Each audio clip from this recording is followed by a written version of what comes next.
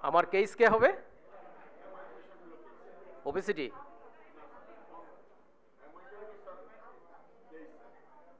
MI হবে আমার? Case without MI control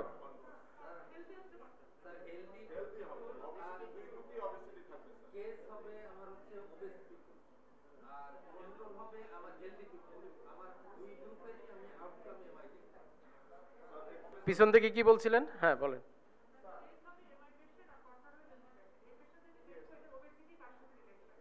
ওই পিছন থেকে কি বলছিলেন? দুইজনেরই ওবেসিটি থাকবে। দুই গ্রুপের ওবেসিটি থাকবে। এই যে দেখেন, আপনারা এক একজন এক এক কথা বললেন তো? এবং দিস ইজ এক্সপেক্টেড এই কনফিউশনটা আমি একটু দূর করার চেষ্টা করি এবার। শোনেন, দুই তিনটা কথা একদম মাথার মধ্যে গাইথা রাখতে হবে for case control study case control স্টাডিতে what is case এই প্রশ্নের উত্তরটা কি? উত্তরটাও না, এই প্রশ্নের উত্তর হলো সাবজেক্টস উইথ আউটকাম আমি যে বাক্যটা বললাম, কয়টা শব্দ? সাবজেক্টস উইথ আউটকাম কয়টা শব্দ? তিনটা শব্দ না? এই তিনটা শব্দের সাথে একটা শব্দ যোগ করতে পারবেন না, একটা শব্দ মাইনাস করতে পারবেন না। একেবারে মানে কি বলে, কোরআনিক ভার্সেসের মতো আর কি। সাবজেক্টস উইথ আউটকাম আমার কেস আর কন্ট্রোল হবে সাবজেক্টস উইদাউট আউটকাম আর কোনো কথা এখানে নাই আমার। এর বাহিরে আর একটা কথা বলতে পারবেন না। সাবজেক্টস উইথ আউটকাম আর সাবজেক্টস উইদাউট আউটকাম তাহলে আমার এখানে আউটকাম কি? তাহলে আমার কেসকে যার এমআই আছে। আর কন্ট্রোলকে যার এমআই নাই? কথা শেষ। এইবার, তিন নম্বর থার্ড আর একটা প্রিকন্ডিশন সাংঘাতিক ইম্পর্টেন্ট প্রিকন্ডিশন এই যে আপনি কেস সিলেক্ট করলেন এমআই কন্ট্রোল সিলেক্ট করেন নো এমআই এই সিলেকশনটা হইতে হবে irrespective of their exposure status independent of their exposure status আবার বলছি irrespective of their exposure status আপনি যাকে এমআই হিসাবে কেস সিলেক্ট করলেন, ওই বাটার কি ওবেসিটি আসে না নাই? এটা দেখার কোনো দরকারই নেই আপনার। আপনি যাকে কন্ট্রোল সিলেক্ট করলেন নো এমআই ওই বাটা কি ওভেজ না নন ওভেজ ওইদিকে তাকাবেনই না। এই জন্য কথাটা কিন্তু এইরকম, যে কেস হবে সাবজেক্টস উইথ আউটকাম কন্ট্রোল হবে subjects without outcome and both cases and control you have to select independent of their exposure status আপনি আগে যদি তাদের ওবেসিটি আছে কিনা দেখে ফেলেন, তাহলে তো আপনি বায়াস্ট হয়ে যাবেন। আপনি ওয়ার্ডে যাবেন। গিয়ে চোখটা গামছা দিয়ে বাইন দেওয়া যান ওয়ার্ডে। গিয়ে এক নম্বর ওয়ার্ডে, আপনি নাম কি? অমুক। আপনার কি এমআই আছে? আছে। ওকে, আপনি আমার কেস।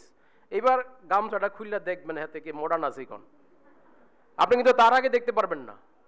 তার আগে দেখলে কিন্তু আপনি বায়াস্ট হয়ে যাবেন আর কি। সুতরাং এইভাবে সিলেক্ট করবেন।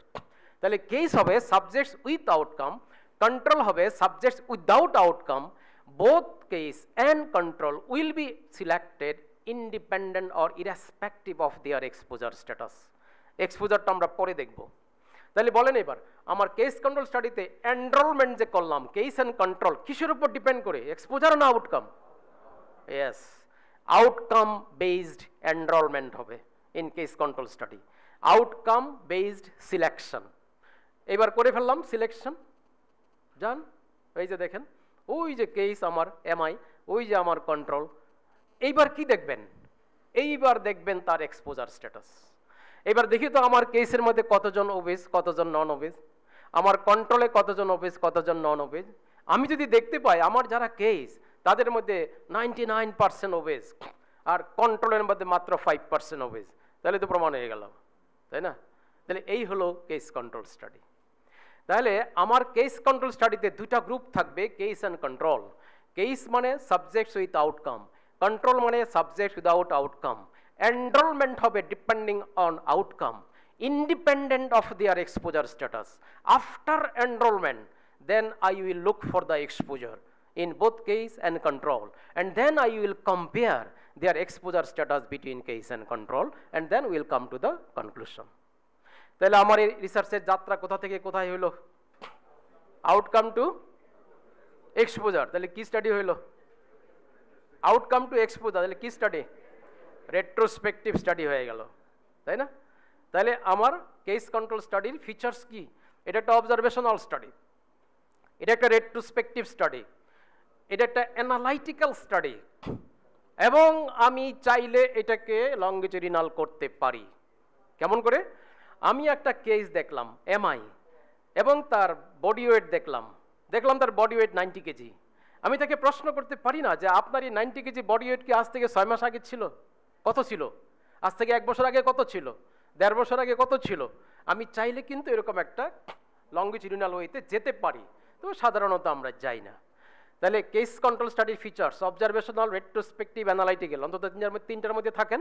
ক্লিয়ার ঠিক আছে? ক্লিয়ার ওকে এবার যাই কোহর্ট স্টাডিতে আচ্ছা হোয়াট ইজ কোহর্ট কোহর্ট শব্দটা আসছে গ্রিক একটা ওয়ার্ড আর কি এটা, রোমান আর্মির একটা টার্মিনোলজি কোহর্ট মানে হলো group of individual group of subjects having identical features মোটামুটি একটা আইডেন্টিক্যাল ফিচার্স নিয়ে কিছু লোক, তারা কিন্তু কোহর্ট আমরা যারা এখানে ডাক্তার আছে, আমরা কিন্তু one kind of cohort individual আবার যারা গার্মেন্টসে চাকরি করে, তারা একটা ভিন্ন ধরনের কোহর্ট ইন্ডিভিজুয়াল যারা ট্যানারি ওয়ার্কে ট্যানারি ওয়ার্কার তারা আরেক ধরনের কোহর্ট ইন্ডিভিজুয়াল আবার যারা দেখবেন যে এইরকম দুপুরবেলা বারোটার সময় স্কুল পালানো ছেলে মেয়ে এই সংসদ ভবনে গিয়ে ঘুরতেছে, লেখাপড়া বাদ দিয়া, এরাও কিন্তু one kind of cohort individual কারণ তাদের বেজলাইন ফিচার্স কিন্তু ডিফারেন্ট একটু different from me from us তাদের ফিচার্স আলাদা। কাজে কোহর্ট কনসেপ্টটাই হলো এটা যে একটা group of individual having identical baseline characteristics okay তো আমি সেম সিনারিওতে কাজটা করি ওবেসিটি অ্যান্ড এমআই হাইপোথিসিস হলো ওবেসিটি কজেস এমআই আমার এক্সপোজার হলো ওবেসিটি এমআই হলো আউটকাম এইবার আমি সিদ্ধান্ত নিয়েছি কোহর্ট স্টাডি করব। যখনই আপনি কোহর্ট স্টাডির সিদ্ধান্ত নিলেন, তখন আপনার মাথায় দুইটা গ্রুপ কাজ করবে। একটা গ্রুপের নাম দিবেন এক্সপোজড গ্রুপ বি কেয়ারফুল নাম পরিবর্তন করতে পারবেন না। নাম চেঞ্জ করলে কিন্তু বিপদ। একটা গ্রুপের নাম দিব এক্সপোজড গ্রুপ আর একটা গ্রুপের নাম দিব আনএক্সপোজড গ্রুপ রাইট এইবার প্রশ্ন হলো, আমার এক্সপোজ গ্রুপ বলতে আমি কি বুঝাইলাম? এক্সপোজ গ্রুপ মানে subjects with exposure unexposed group মানে সাবজেক্টস উইদাউট এক্সপোজার এই এই যে এই যে ডেফিনেশনটা দিলাম, এইটা যেন ভুল না হয়। সবসময় এটা মনে রাখতে হবে। আমার এখানে এক্সপোজার কি? তাহলে আমার এক্সপোজ গ্রুপে কে যাবে? ওবেজ ইন্ডিভিজুয়াল আনএক্সপোজ গ্রুপে কে যাবে? নন নন ওবেজ ইন্ডিভিজুয়াল আর কিছু কইবেন নি? আর কিছু কইবেন? হ্যাঁ? আর কিছু বইলেন না। খালি বলেন যে আমার এক্সপোজ গ্রুপে হলো ওবেজ ইন্ডিভিজুয়াল আনএক্সপোজ গ্রুপে নন ওবেজ ইন্ডিভিজুয়াল যেমনটি আমি বলেছিলাম কেস কন্ট্রোল স্টাডিতে আরেকটা থার্ড ইম্পর্টেন্ট প্রিকন্ডিশন ছিল কি? ইরেসপেক্টিভ অফ এক্সপোজার এখানে আরেকটা খুবই গুরুত্বপূর্ণ প্রিকন্ডিশন আছে। সেই প্রিকন্ডিশন হলো each and everybody of both exposed and unexposed group must be free from outcome. Everybody must be outcome free. এই শর্ত যদি পূরণ না করেন, আপনার কোহর্ট স্টাডি হবে না। তার মানে আমার এক্সপোজ গ্রুপে কে যাবে? ওবেজ নো এমআই আনএক্সপোজ গ্রুপে কে যাবে? নন ওবেজ নো এমআই আরও শক্ত কথা বলা আছে বইতে। সেটা হলো নো এমআই তো বলে ফেললাম। আবার এই, এটাও অ্যানশিওর করতে হবে যে অতীতে তার কোনো দিন এমআই হয়েছিল যদি এরকম হিস্ট্রি দেয় হেড অফ বাদ হেড অফ বাদ নিতে পারবেন না এটা। কাজী এক্সপোজ রূপে যাবে subject with exposure free from outcome unexposed রূপে subject without exposure free from outcome মানে কারোরই এমআই নাই। এবার কি করবেন? তাহলে বলেন, এবার এনরোলমেন্ট কেমন করে হলো? Cohort স্টাডিতে depending on exposure correct case control স্টাডিতে কি ছিল এটা? ডিপেন্ডিং অন আউটকাম তাহলে কোহর্টে হলো ডিপেন্ডিং অন এক্সপোজার এইবার আমি কি করব? ওই যে দেখেন, এই যে cohort group exposed obese unexposed non obese এদের কারোরই এমআই নাই। এইবার তাদেরকে ফলো আপ করব আগামী পাঁচ বছর, সাত বছর। ফলো আপ করে যদি দেখতে পাই, যারা আমার ওবেজ ছিল, তাদের মেজরিটি এমআই ডেভেলপ করেছে, আর যারা আনএক্সপোজ তাদের এমআই হয় নাই। তাহলে তো প্রমাণ হয়ে গেল, তাই না? এটা হলো কোহর্ট স্টাডি বলেন, কোথা থেকে কোথায় গেলেন? এক্সপোজার টু আউটকাম তাহলে এটা কি হইল? প্রসপেক্টিভ স্টাডি এবং লঙ্গিচুরিনাল স্টাডি তাই না? অ্যানালাইটিক্যাল স্টাডি তাই না? তাহলে কোহর স্টাডির ফিচার্সগুলো দেখি এবার। অবজারভেশনাল স্টাডি প্রসপেক্টিভ স্টাডি তবে এটা রেট্রোস্পেক্টিভ হতে পারে। আমি একটা এক্সাম্পল সামনে আনতেছি। Longitudinal analytical this is the classic features of cohort study observational prospective longitudinal analytical বুঝে আসছে? এটুকু? ওকে তাহলে এইবার আমি একটা রেট্রোস্পেক্টিভ কোহোর্ট স্টাডির উদাহরণ আপনার সামনে হাজির করি। এবার একটা সিনারিও দিলাম আপনাকে। এই সিনারিওটার উপর কথা বলেন। সিনারিওটা হলো বার্থ অ্যাসফাইক্সিয়া হলে পরে আমি দেখতে পাচ্ছি স্কুলের বাচ্চাদের একাডেমিক পারফরমেন্স খুব পুয়ার হয় এবং তাদের ডেভেলপমেন্টাল ডিলে হয়। বার্থ অ্যাসফেক্সিয়া হলে বাচ্চাদের ডেভেলপমেন্টাল ডিলে হয় এবং স্কুলে তাদের একাডেমিক পারফরমেন্স পুয়ার হয়। বলেন আমার এক্সপোজার কি? Birth asphyxia R outcome developmental events and academic performance in school ঠিক আছে? Poor academic performance in school আপনি কি এর উপর একটা কেস কন্ট্রোল স্টাডি করতে পারেন? করতে পারবেন? করেন তো কেস কে হবে? পুয়ার একাডেমিক পারফরমেন্স আর পুয়ার এই বাচ্চাগুলো আমার কেস স্কুলে চলে যাব মানে নাইন টেনে চলে যাব, বা ম্যাট্রিক পরীক্ষার ফলাফলের সময় চলে যাব। পুয়ার একাডেমিক পারফরমেন্স তারা আমার কেস যারা নাকি গোল্ডেন এ প্লাস পেয়েছে, তারা আমার কন্ট্রোল এবার দুই গ্রুপের বাচ্চাদেরকে কি জিজ্ঞেস করব? মানে বাচ্চার মায়েদেরকে জিজ্ঞেস করব জন্মকালীন সময় তাদেরকে বার্থ স্পেশাল হয়েছিল নাকি হয় নাই? বাস হয়ে গেল case control study can you do prospective cohort study over this issue হ্যাঁ প্রসপেক্টিভ কোহোর্ট স্টাডি করতে পারি কি না না না আমি একটা প্রসপেক্টিভ কোহোর্ট স্টাডি করতে চাই এই ইস্যুর উপরে, আজকের থেকে। সম্ভব?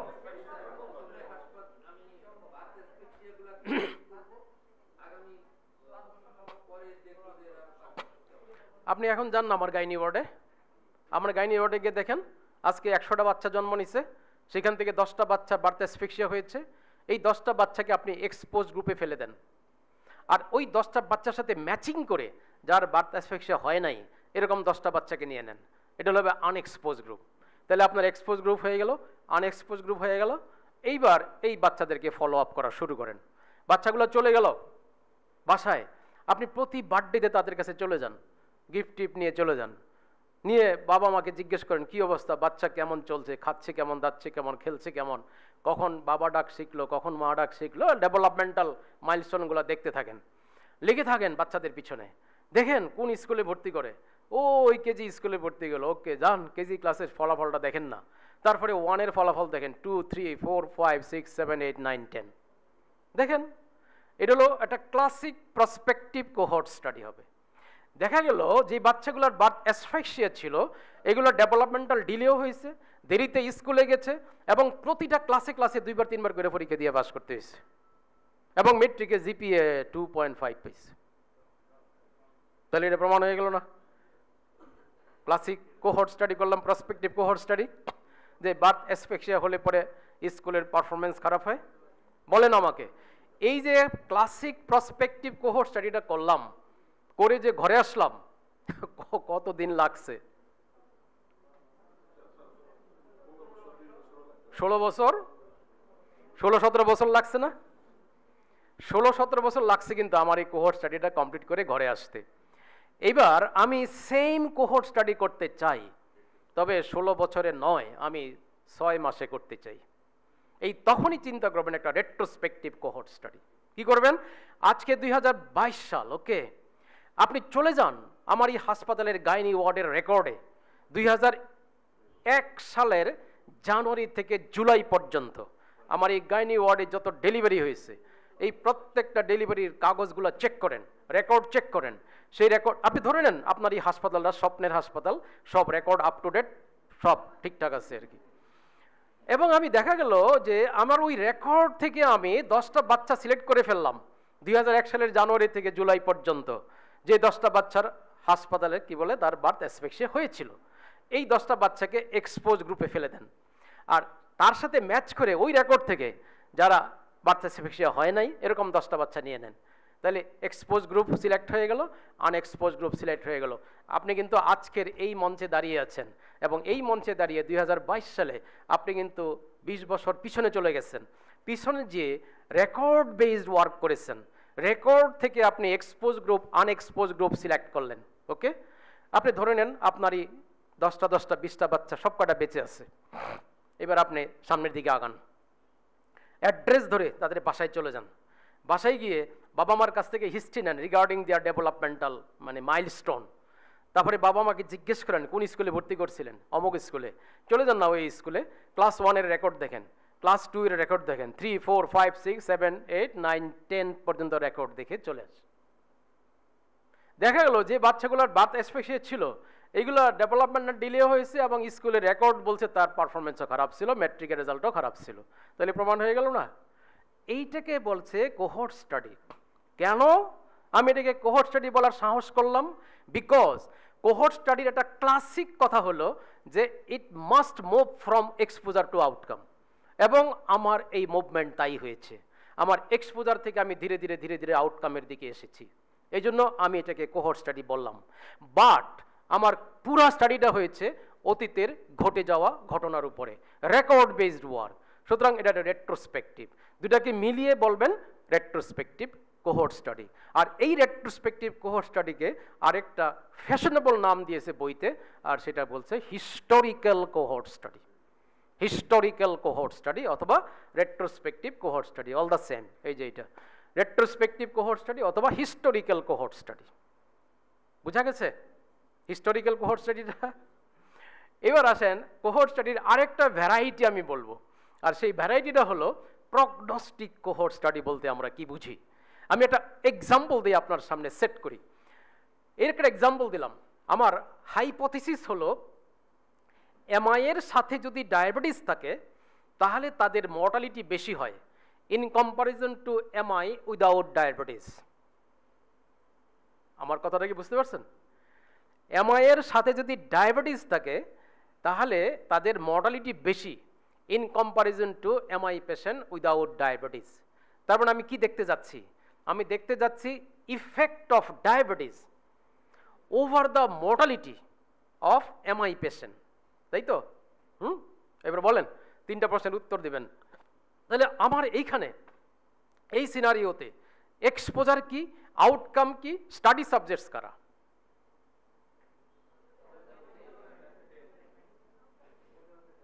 এক্সপোজার হয়েছে diabetes very good very good very good outcome mortality death আর study subjects MI patient MI patient তাহলে আমার একদিকে এমআই উইথ ডায়াবেটিস আরেকদিকে এমআই উইদাউট ডায়াবেটিস বলেন না? আপনি কোনটাকে এক্সপোজ গ্রুপ নাম দিবেন, কোনটাকে আনএক্সপোজ গ্রুপ নাম দিবেন? এমআই উইথ ডায়াবেটিসকে দিবেন নাম কি? এক্সপোজ রাইট আর এমআই উইদাউট ডায়াবেটিসকে নাম দিবেন? আনএক্সপোজ গ্রুপ এইবার তাদেরকে আপনি আইডেন্টিক্যাল প্রটোকলে চিকিৎসা করেন। আইডেন্টিক্যাল প্রটোকলে চিকিৎসা করেন। চিকিৎসার পর যদি দেখি যে এমআই উইথ ডায়াবেটিসের মধ্যে ডেথ বেশি তাহলে তো প্রমাণ হয়ে গেল। এটাও একটা cohort study prospective cohort study longitudinal cohort study ঠিক আছে? কিন্তু এই নামটা কেন প্রগনস্টিক কোহর্ট স্টাডি দিলাম? কারণ এই কোহর্ট স্টাডির মধ্য দিয়ে আমি ডায়াবেটিসকে একটা প্রগনস্টিক ফ্যাক্টর হিসাবে প্রমাণ করলাম। In relation to mortality in MI সুতরাং এইখানে কিন্তু এই কোহর স্টাডির মধ্য দিয়ে ডায়াবেটিসটা একটা প্রগনস্টিক ফ্যাক্টর হিসাবে প্রমাণিত হইল ইন এমআই পেশেন্ট এই জন্য নামটা একটু ফ্যাশন করে বলছে it's a prognostic cohort study আপনি যেটাকে সিম্পল একটা কোহর স্টাডি বলেন I don't mind I will never mind simply cohort study no problem but if you মানে brand it as a prognostic cohort study that is more specific answer এবার আছেন cross sectional study okay similar scenario obesity and M I same সিনারিওতে কাজ করব ওকে মনে আছে তো? এই সিনারিওতে যখন কেস কন্ট্রোল স্টাডি করেছিলাম, তাহলে আমার কেস এবং কন্ট্রোল এনরোলমেন্ট করেছিলাম ডিপেন্ডিং অন হোয়াট আউটকাম আউটকামের উপর ডিপেন্ড করে এনরোলমেন্ট করে সাবসিকুয়েন্ট আমি খুঁজে বেড়াইছি কাকে? এক্সপোজারকে এই ইস্যুতে যখন কোহোর স্টাডি করেছিলাম এনরোলমেন্ট করেছিলাম কিসের উপর ডিপেন্ড করে। এক্সপোজার উপর ডিপেন্ড করে। এনরোলমেন্ট করলাম। এনরোলমেন্টের পরে আমি কাকে খুঁজে বেড়াইছি? আউটকামকে খুঁজে বেরিয়েছি। এবার কিন্তু ওই সব ঝামেলা নাই। এবার আপনি এনরোলমেন্টের ক্ষেত্রে not depending on exposure not depending on outcome দুটার একটাও না। কী করবেন আপনি? আপনি একটা ক্রস সেকশন অফ পপুলেশনকে সিলেক্ট করবেন। ক্রস সেকশন অফ পপুলেশন মানে হলো আপনি এই মোটটার মধ্যে এখন যদি যান, এই শ্যামলির মোটটার মধ্যে, এখন গিয়ে আপনি মনে করেন পাঁচ হাজার লোক পেয়ে গেলেন। এই এই পাঁচ হাজার লোক কিন্তু একটা ক্রস সেকশন অফ পপুলেশন এই ক্রস সেকশন অফ পপুলেশন এটা কিন্তু পার্টিকুলার ক্যাটাগরি অফ পিপল না। এই এই পপুলেশনের মধ্যে সব ধরনের মানুষ থাকবে। ছেলে আছে, মহিলা আছে, বুড়া আছে, বুড়ি আছে, শিক্ষিত আছে, অশিক্ষিত আছে, সব ধরনের মানুষ। এটা ক্রস সেকশন অফ পপুলেশন বাজার থেকে আপনারা পাঁচ মিশালি মাছ কিনেন না? পাঁচ মিশালি মাছ মানে কি? আমি তো, আমাকে যদি বলে পাঁচ মিশালির মাছ আনব, আমি তো দশ মিশালি মাছ নিয়ে বাড়ির যাই। তো এই, এইগুলো কিন্তু একটা ক্রস সেকশন অফ ফিশ একটা পার্টিকুলার ক্যাটাগরি না। তো আপনি এরকম একটা cross section of population select করেন। এবার মনে করেন আপনি এই মোড়টায় গিয়ে আচ্ছা মোড় বাদ দেন। আজকে, আজকের দিনে আপনার মেডিসিন আউটডোরে আপনার দিনে, আজকের দিনে আপনার মেডিসিন আউটডোরে মনে করেন পাঁচশো লোক এসে হাজির হয়েছে। এবং এই পাঁচশো পেশেন্টের সাথে একটা করে অ্যাটেন্ডেন্ট বা দুইটা করে অ্যাটেন্ডেন্ট আরও এক হাজার। তাহলে মোট পনেরোশো হয়ে গেল না। আপনি এই পনেরোশো লোককে বলেন যে, ভাই, আপনারা আমার স্টাডি সাবজেক্টস এই যে এনরোলমেন্ট করলাম, কিসের উপর ডিপেন্ড করে? এক্সপোজের উপর ডিপেন্ড করে? ন আউটকামের উপর ডিপেন্ড করে? ন আমি একটা cross section of population select করলাম। এইবার কি করব? আমার এই পনেরোশো বা দুই হাজার লোকের প্রত্যেকের কাছে যাব। গিয়ে দুইটা জিনিস একসাথে দেখব। তাদের ওবেসিটি আছে কিনা এবং তাদের ইসিজি করে দেখব এমআই আছে কিনা। Both exposure and outcome will be explored in each and every individual of this cross section of population simultaneously একটা আগে, একটা পরে না। আপনি বলেন, আমার কেস কন্ট্রোল স্টাডিতে প্রথমে দেখেছিলাম কোনটা? আউটকাম পরে খুঁজছি কোনটাকে? এক্সপোজার কোহোর স্টাডিতে প্রথমে দেখেছি কাকে? এক্সপোজারকে পরে খুঁজছি কাকে? এইবার দুইটা একসাথে খুঁজবো। এক্সপোজার আউটকাম একসাথে খুঁজবো। এটার নাম ক্রস সেকশনাল স্টাডি এইরকম যদি আপনি দুই হাজার লোকের উপর এই কাজটা করেন, করে যদি ঘরে আসেন, তাহলে আলটিমেটলি আপনার এই ডেটাটা এরকম চারটা ভাগে ভাগ হয়ে যাবে না। দেখেন, কিছু লোক পাবেন যার এমআই পাইলেন, আবার ওবেসিটি পাইছেন। কিছু লোক ওবেসিটি আছে কিন্তু এমআই নাই। কিছু লোক নো ওবেসিটি নো এমআই আবার কিছু লোক পাবেন নো ওবেসিটি বাট এমআই এরকম চারটা ক্যাটাগরিতে ভাগ হয়ে যাবে, তাই না?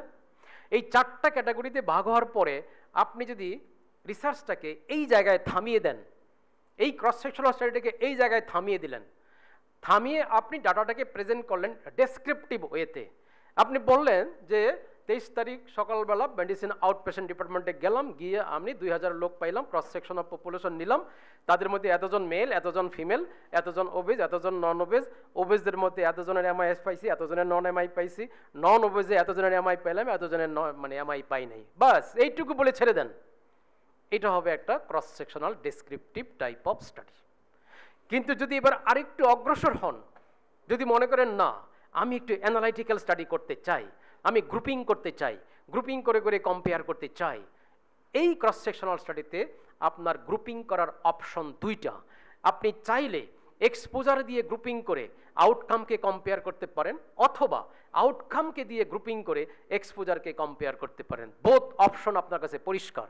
কিন্তু কেস কন্ট্রোল স্টাডিতে আপনার গ্রুপিং হয়েছিল categorically depending on outcome cohort স্টাডিতে grouping হয়েছিল ক্যাটাগরিক্যালি ডিপেন্ডিং অন এক্সপোজার কিন্তু এইখানে দুইটা অপশন খোলা। এখন মনে করেন আমি এইভাবে গ্রুপিং করলাম। আমি এই যে একদিকে ওবেজ নিলাম, আরেকদিকে নন ওবেজ নিলাম। এই যে এই যে এই যে দেখেন, এই যে ওবেজ এই যে ওবেজ এই দুই গ্রুপকে একত্র করেন। আর এই যে নন ওবেজ এই যে নন ওবেজ দুই গ্রুপে একত্র করেন। তাহলে একদিকে ওবেজ আরেকদিকে নন ওবেজ এবার আপনি দুই গ্রুপের মধ্যে কি দেখবেন? কোন দিকে এমআই বেশি? এই তো হয়ে গেল। যদি দেখতে পাই ওবেস গ্রুপে এমআই বেশি, আমার প্রমাণ হয়ে গেল যে ওবেসিটি অ্যাসোসিয়েটেড উইথ এমআই অথবা আপনি আউটকাম দিয়ে গ্রুপিং করে এক্সপোজারকেও কম্পেয়ার করতে পারেন। আপনি একদিকে এমআই আর একদিকে নো এমআই তাহলে কি হবে? এই যে দেখেন এমআই এই যে এমআই এই দুই গ্রুপে একত্র করেন। নো এমআই নো এমআই একত্র করেন। একদিকে এমআই আর একদিকে নো এমআই এবার দুই গ্রুপে আপনি ওবেসিটিকে কম্পেয়ার করেন। যদি দেখতে পান এমআই গ্রুপের মধ্যে ওবেসিটি বেশি, তাহলে আপনার প্রমাণ হয়ে গেল না। এই হলো cross sectional analytical study so you can make the cross-sectional study either descriptive or analytical depending on your thinking design ঠিক আছে? তাহলে কি হলো? আমার ক্রস সেকশনাল স্টাডির কি বলে ফিচার্সগুলো কি পাইলাম? Number one observational study okay number two it could be descriptive could be analytical তাই তো? Number three not longitudinal not prospective but it may be retrospective হতে পারে ক্রস সেকশনাল স্টাডিতে কেমন একটা এক্সাম্পল দিই আপনাকে। আচ্ছা মনে করেন, এই যে, কি বলে দুই, তিন বছর যাবতীত প্রায় আমরা এই কোভিড নিয়ে লড়তেছি। ঢাকা শহরে কত কোভিড ডেডিকেটেড হসপিটাল গত দুই, আড়াই বছর যাবৎ কত কোভিড পেশেন্টকে সার্ভিস দিল। অন রেকর্ড কিন্তু জিনিসগুলা, একেবারে অন রেকর্ড কোভিড শেষ হয়ে গেল। হপফুলি এই বছরই শেষ হয়ে যাবে। মনে করেন আজকের থেকে দশ বছর পরে দুই হাজার বত্রিশ সালে বসে যদি কেউ এই ঢাকা শহরের এই কোভিড ডেডিকেটেড হসপিটালের পারফরমেন্সের উপর একটা স্টাডি করে, যে দেখি তো কয়টা হাসপাতাল ছিল, কতজন পেশেন্টকে চিকিৎসা করছে, কতজন ভালো হয়েছে, কতজন মারা গেছে, তার মধ্যে কতটা ফিমেল ছিল, কতটা মেল ছিল, এরকম একটা স্টাডি করতেও পারে। তাহলে এইটা হবে একটা cross sectional but retrospective type of study হতে পারে এরকম। ওকে এবার ফাইনাল ফাইনাল পার্টটা হলো আমার RCT randomised control trial okay আসেন, একটা সিনারিও দিচ্ছি। RCT with new anti hypertensive drug hypothesis হলো new drug is better than old drug তাহলে বলেন, আপনার এখানে দুইটা গ্রুপ থাকবে। যেমন বলেছিলাম কেস কন্ট্রোলে দুইটা গ্রুপ একটা হলো কেস অ্যান্ড কন্ট্রোল কোহোর স্টাডিতে দুইটা group exposed and unexposed similarly আমার আরসিটিতে দুইটা গ্রুপ থাকবে। একটা গ্রুপের নাম দিবেন এক্সপেরিমেন্টাল গ্রুপ আরেকটা গ্রুপের নাম দিবেন কন্ট্রোল গ্রুপ নাম পরিবর্তন করতে পারবেন না। এক্সপেরিমেন্টাল গ্রুপ অথবা ইন্টারভেনশনাল গ্রুপ আর হলো কন্ট্রোল গ্রুপ রাইট এইবার আপনি আমাকে একটু বলেন তো দেখি, কে যাবে এক্সপেরিমেন্টাল গ্রুপে বা ইন্টারভেনশনাল গ্রুপে এই সিদ্ধান্তটা নিবেন আপনি আগে নিজেকে প্রশ্ন করবেন যে আমার এই রিসার্চের ইন্টারভেনশনটা কি? আমি কোন ইন্টারভেনশনের ফলাফল দেখতে চাই? তাহলে আপনার এখানে ইন্টারভেনশন কোনটা? নিউ ড্রাগ সুতরাং নিউ ড্রাগ আপনার ইন্টারভেনশন অতএব নিউ ড্রাগ যারা পাবে, তারাই হবে আপনার ইন্টারভেনশনাল গ্রুপ বা এক্সপেরিমেন্টাল গ্রুপ আর ওল্ড ড্রাগ যারা পাবে, তারা হবে আপনার কন্ট্রোল গ্রুপ ঠিক আছে? আমার স্টাডি সাবজেক্ট কারা হবে এইখানটায় বলেন। হাইপারটেনসিভ ইন্ডিভিজুয়াল রাইট সো পৃথিবীতে কত হাইপারটেনসিভ ইন্ডিভিজুয়াল আছে? এরা সবাই আমার পপুলেশন আমার এই স্টাডিতে এই স্টাডিতে যেহেতু একটা অ্যান্টি হাইপারটেনসিভ ড্রাগ নিয়ে কাজ করছেন, সুতরাং আপনার এই স্টাডির পপুলেশন হলো পৃথিবীর সকল হাইপারটেনসিভ ইন্ডিভিজুয়াল ঠিক আছে? পৃথিবীর সকল হাইপারটেনসিভ ইন্ডিভিজুয়াল ওকে তাহলে এনরোলমেন্ট হবে এক্সপেরিমেন্টাল গ্রুপ আর কন্ট্রোল গ্রুপ এক্সপেরিমেন্টাল গ্রুপ মানে subjects who will receive the intervention R control group হলো subjects who will receive the placebo or conventional therapy traditional therapy okay তাহলে এবার আমার এই ডিজাইনটার দিকে একটু তাকান। তাকিয়ে দেখেন, ওই যে আমার পপুলেশন মানে পৃথিবীর সকল হাইপার টেন্সিভ ইন্ডিভিজুয়াল সেইখান থেকে আপনি স্যাম্পলিং করে একটা স্যাম্পল নেবেন। ধরেন আমি একশো জনের একটা স্যাম্পল নিলাম। একশো জন হাইপার টেন্সিভ ইন্ডিভিজুয়ালের স্যাম্পলটা নিলাম। আমি এই জায়গাটায় আপনাদেরকে একটু অ্যাটেনশন ড্র করছি। বিকজ এই জায়গাটায় আমরা কিন্তু একটু কনফিউশন করি, ভুল করি। দেখেন, এই যে পপুলেশন থেকে আমি যে স্যাম্পলটা নিলাম, একশো জন hypertensive individual this is sampling আর এই স্যাম্পলিংটা আমরা দুইটা পদ্ধতিতে করতে পারি। আইদার র্যান্ডম স্যাম্পলিং করতে পারি অথবা নন র্যান্ডম স্যাম্পলিং করতে পারি। দুটার মধ্যে পার্থক্য কি? Random sampling non random sampling পার্থক্য কি? একদম সোজা কথা বলবেন। না না না না না। পদ্ধতিগত পার্থক্য জানতে চাচ্ছি। পদ্ধতিগত পার্থক্য জানতে চাচ্ছি র্যান্ডম সামথিং যেটা বলব সেটা হচ্ছে each individual have equal chance এটা র্যান্ডমলি আমি বলব আর নন র্যান্ডম যেটা মানে সেখানে ইকুয়াল চান্স আপনাদের কনসেপ্ট খুবই পরিষ্কার, কিন্তু আমি যে উত্তরটা চাচ্ছি সেটা পাচ্ছি না। এই দুটোর মধ্যে পার্থক্য কি? পার্থক্য হলো র্যান্ডম স্যাম্পলিং করব লটারি করে র্যান্ডমলি মানে লটারি করে। নন র্যান্ডম স্যাম্পলিংয়ে কোনো লটারি নাই। পারপাজে আমার মানে জাজমেন্ট অনুযায়ী করব। লটারি মানে এই যে র্যান্ডম প্রসেস যেটা র্যান্ডম প্রসেস মানে হলো এমন একটা প্রসেস যে প্রসেসে সকলের সমান সুযোগ থাকবে। আর এই র্যান্ডম প্রসেসের একটা পদ্ধতি হলো লটারি একটা পদ্ধতি লটারি অথবা র্যান্ডম নাম্বার টেবিল ইউজ করতে পারি হোয়াট এভার মেবি তাহলে আমি পপুলেশন থেকে স্যাম্পল সিলেক্ট করলাম it could be random sampling অথবা নন র্যান্ডম স্যাম্পলিং যে কোনো একটা হতে পারে। হলো, এবার আমি স্যাম্পলটা পেয়ে গেলাম। এবার আমি সিদ্ধান্ত নিয়েছি সাপোজ যে আমি এই একশো জন স্যাম্পলের মধ্যে পঞ্চাশটা পেশেন্টকে আমি আমার এক্সপেরিমেন্টাল গ্রুপে দিব। মানে ইন্টারভেনশনাল ড্রাগ দিয়ে চিকিৎসা করব। পঞ্চাশটা পেশেন্টকে আমি কন্ট্রোল গ্রুপে ফেলব। ঠিক আছে? এটা আমার একটা সিদ্ধান্ত। মনে করেন। এখন প্রশ্ন দাঁড়াইলো, একটা পেশেন্ট আপনার সামনে আসলো হাইপারটেনসিভ ইন্ডিভিজুয়াল এই পেশেন্টটাকে এক্সপেরিমেন্টাল গ্রুপে নিউ ড্রাগ দিয়ে চিকিৎসা করবেন নাকি ওল্ড ড্রাগ দিয়ে চিকিৎসা করবেন? এই সিদ্ধান্তটা কীভাবে নেবেন? একদম লটারি। এইখানে কোনো রুগীর চয়েস চলবে না। এখানে আপনি রিসার্চ রিসার্চার আপনার চয়েস চলবে না। আপনি ভাবছেন যে এই রুগীটা বেশি ভালো লাগছে আমার কাছে, তাকে আমি নিউ ড্রাগ দিই। আর ওই রুগীটার ভালো লাগতেছে না, তারে আমি ওল্ড ড্রাগ দিই, এটা চলবে না। এই পেশেন্ট যদি এখানে যে বলে যে পেশেন্টের চয়েস, বললেন যে এই নতুন ড্রাগটা একটু কস্টলি আপনি পারবেন? ন এই চলবে না। এইসব চয়েস চলবে না। একদম উত্তরটা হলো রুগীর কপাল, যেখানে টাইনে নিবে, তাকে ওখানে ফেলতে হবে। ঠিক আছে? লটারি করে করতে হবে। এই যে লটারি করে আমি আমার স্যাম্পলটাকে নিউ ড্রাগ এক্সপেরিমেন্টাল গ্রুপে অ্যাসাইন করলাম আর ওল্ড ড্রাগে অ্যাসাইন করলাম, এই কর্মটার নাম কি। এই এই আমি আমার আমার এখানে, না, আমার এখানে দুইটা ইন্টেলেকচুয়াল থট আছে। একটা হলো, কর্মটার নাম কি? দ্বিতীয় প্রশ্ন হলো, কর্মটা করব কীভাবে? প্রথমে বলেন, কর্মডার নাম কি? গ্রুপিং না। কর্মডার নাম হলো, বইয়ের ভাষায় যেটা, অ্যালোকেশন, ফাইন, কারেক্ট।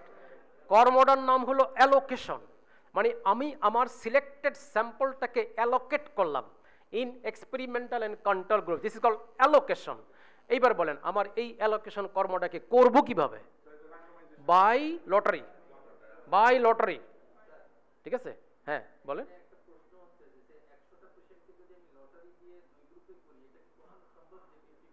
না, নাও হইতে পারে। আমি উত্তরটা আসতেছি পরে। তো এটা হলো অ্যালোকেশন আর সেই অ্যালোকেশনটা করব কীভাবে? বাই লটারি এই যে আপনি অ্যালোকেশনটা করলেন বাই লটারি এইটার নামই হলো randomisation so what is randomisation উত্তর কি দিবেন?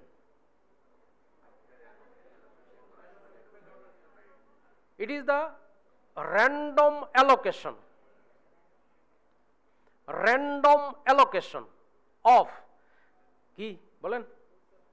Sample right random allocation of selected sample in experimental group and control group by by by by by by lottery lottery that is call randomisation ঠিক আছে? এই হলো র্যান্ডমাইজেশন করলাম, করে এইবার আপনি চিকিৎসা করেন ফলো আপ করেন, ফলাফল দেখেন, ফলাফলটা কম্পেয়ার করেন, এটার নামই আর্সিটি এবার একটু বলেন তো, এই যে র্যান্ডমাইজেশন করলাম, তাতে কি লাভটা হয়েছে? একেবারে আনবায়াসড একটা পাইলাম। অ্যান্ড বিকজ অফ হুইচ এই আরসিটিকে এত দাম দেওয়া হয়।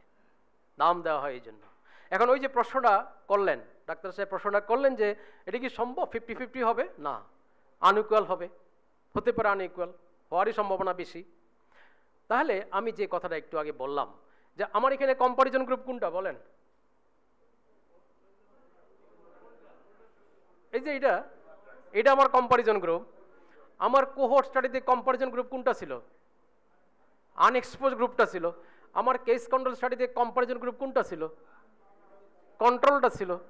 সব সময় একটা কম্পারিজন গ্রুপ লাগবে, তাছাড়া হবে না। তো যেটা বলছিলাম, যে আমার কম্পারিজন গ্রুপে কন্ট্রোল গ্রুপে যেন লোক সংখ্যা কম না হয়, খেয়াল রাখতে হবে।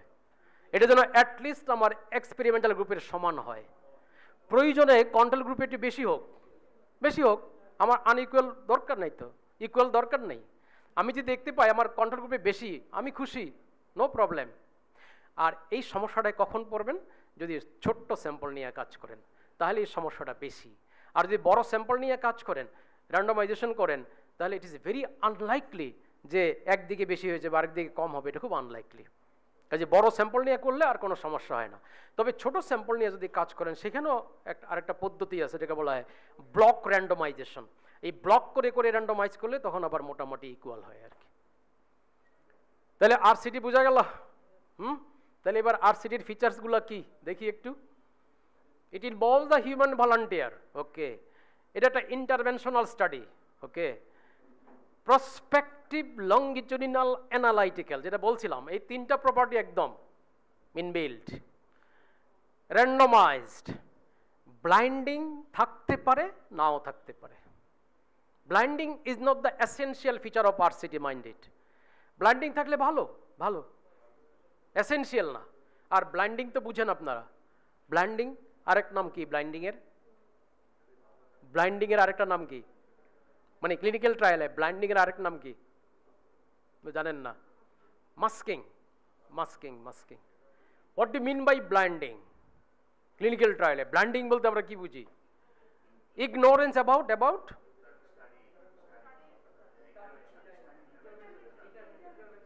না। এটা হলো ignorance about the treatment received by the participant আমার পার্টিসিপেন্ট কি ইন্টারভেনশনাল ড্রাগ খাচ্ছে? নাকি কন্ট্রোল ড্রাগ খাচ্ছে? এই ব্যাপারে অবগত না থাকাটাই হলো blinding ignorance about the treatment status of the participant আমরা আমাদের ক্লিনিক্যাল ট্রায়ালে মোটামুটি তিনটা টায়ারে আমরা লোকজন থাকি। একদম বটম টায়ারে থাকে হলো আমার পার্টিসিপেন্ট যারা। আর একদম উপরের টায়ারে থাকবেন আপনি রিসার্চার আর মাঝে একটা গ্রুপকে অ্যাসাইন করবেন অ্যাসেসর তাই না? অ্যাসেসর এখন যদি পার্টিসিপেন্টরা ব্লাইন্ডেড থাকে, সে কি নিউ ড্রাগ পাইল না ওল্ড তবে তবে এটা কিন্তু it must be ethically approved ethically approve না হলে করতে পারবেন না কিন্তু। হুম? তো পার্টিসিপেন্ট যদি ব্লাইন্ডেড থাকে, নতুন ড্রাগ না পড়ানো অনেক জানে না, কিন্তু অ্যাসেসর জানে রিসার্চার জানে কে কোন ড্রাগ খাচ্ছে, তাহলে এটা single blind participant blinded assessor blinded researcher not blinded double blind আর তিনজনেই ব্লাইন্ডেড থাকলে triple blind triple blind study আমরা সাধারণত করি না। আমরা সবচেয়ে বেশি করি যে ডাবল ব্লাইন্ড ব্লাইন্ডিং করার উদ্দেশ্যও কিন্তু একটাই। সেটা হলো to avoid the measurement bias and to avoid the response bias response bias comes from the participant participant যদি জেনে যায় যে সে নতুন ড্রাগ পাচ্ছে, আর আমার ডাক্তার স্যারের কইছে নতুন ড্রাগটা ভালো, সে একটা খুশি খুশি ভাবের মধ্যে থাকবে। আর এই খুশি খুশি ভাবে তার সিম্প্যাথেটিক ইনহিবিশন হবে। পেরিফেরাল ভ্যাসোডাইলেটেশন হবে। তার ব্লাড প্রেশার এমনি কমে যাবে। এটা কি ড্রাগের জন্য কমলো না কি বুঝতে পারলাম না। উল্টাটা হবে, যারা নাকি জেনে যাবে যে তাকে ওল্ড ড্রাগ দিয়ে চিকিৎসা করা হচ্ছে। আরেকটা রেসপন্স বায়াস হতে পারে, সেটা হলো, যদি সেটা অন্য রকমের ড্রাগ হয়, ধরুন একটা হেডেক বা পেইনের একটা ড্রাগ যদি, যে লোকটা জানবে যে ডাক্তার সাহেব নতুন একটা ড্রাগ ওষুধ দিছে যেন খুব ভালো। আপনি জিজ্ঞেস করবেন, বলো আপনার ব্যথার খবর কি? সে বলবে যে না, স্যার, একেবারে এক, কোনো ব্যথা নাই, অথচ কিছু কিছু আছে। কারণ সে নতুন ড্রাগ পাচ্ছে। এগুলো বলে response bias so to avoid the response bias blinding করে ফেলেন। আর হলো মেজারমেন্ট বায়াস আপনি যাকে অ্যাসেস করতে বলবেন, সে যদি ব্লাড প্রেশার অ্যাসেস করতে যায়, আর সে যদি জানে যে লোকটা নিউ ড্রাগ পাচ্ছে, সে কিন্তু মেজারমেন্ট বায়াস হয়েছে লোকটার হাতে হয়তো ব্লাড প্রেশার আছে নাইনটি মিলিমিটার মার্কারি আর সে বলবে যে, আমার কাছে তো মনে হচ্ছে না পঁচাশি পঁচাশি বাপ। এরকম একটা কথা বলে ফেলবে। মানে মেজারমেন্ট বায়াস হয়েছে এগুলোকে অ্যাভয়েড করার জন্য ব্লাইন্ড ওকে তাহলে এরপর আর একটা শব্দ আছে quasi experimental study quasi experimental study বলছে, আমি এক কথাই বলে দিছি কিন্তু, আমি এত কথা বলতে রাজি না। Any kind of clinical trial other than RCT একদম আইডিয়াল ফর্ম অফ আরসিটি ছাড়া যে কোনো ধরনের ক্লিনিক্যাল ট্রায়াল করবেন, এগুলোকে এক কথায় বলা হয় কোয়াসি এক্সপেরিমেন্টাল স্টাডি হতে পারে না এরকম? আপনার হয়তো দুইটা গ্রুপ আছে ওকে ফাইন আপনি দুইটা গ্রুপকে চিকিৎসা করলেন, কিন্তু র্যান্ডমাইজ করলেন না।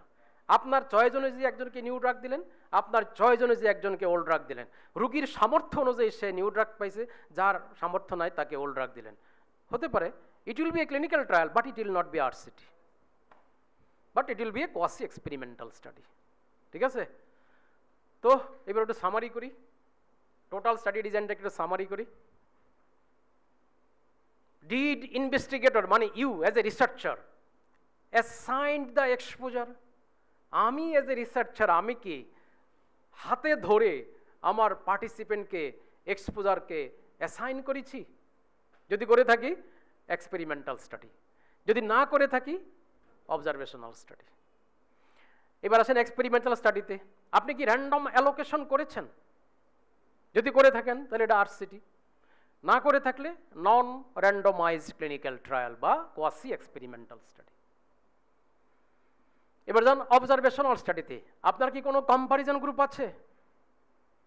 যদি থাকে, তাহলে এটা একটা অ্যানালাইটিক্যাল স্টাডি যদি না থাকে ডেসক্রিপটিভ স্টাডি মনে রাখবেন অ্যানালাইটিক্যাল স্টাডিতে আমরা কি বের করব? কজ রাইট কারণ খুঁজে বের করে ফেলব। তো কারণ খুঁজে বার করতে গেলে আপনাকে অবশ্যই অবশ্যই একটা কম্পারিজন গ্রুপ রাখতেই হবে। কন্ট্রোল ছাড়া কম্পারিজন গ্রুপ ছাড়া আপনি আপনি যে ভালো, এটা কেমনে?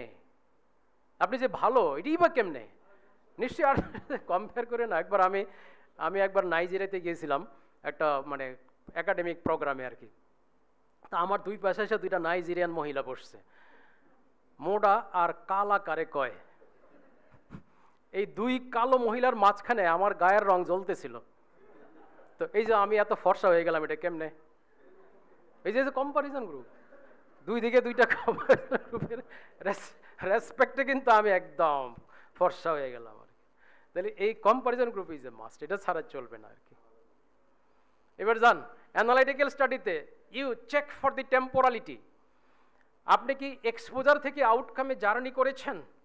করে থাকলে কোহর্ট স্টাডি ওকে? আপনি কি আউটকাম থেকে এক্সপোজারে জার্নি করেছেন?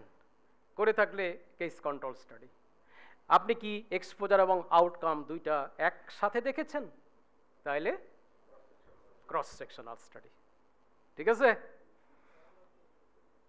আমার কাজ শেষ এবার আপনাদের কাজ। আপনারা এবার কিছু কথাবার্তা, কিছু কাজ করতে হইব। বলেন। বলেন।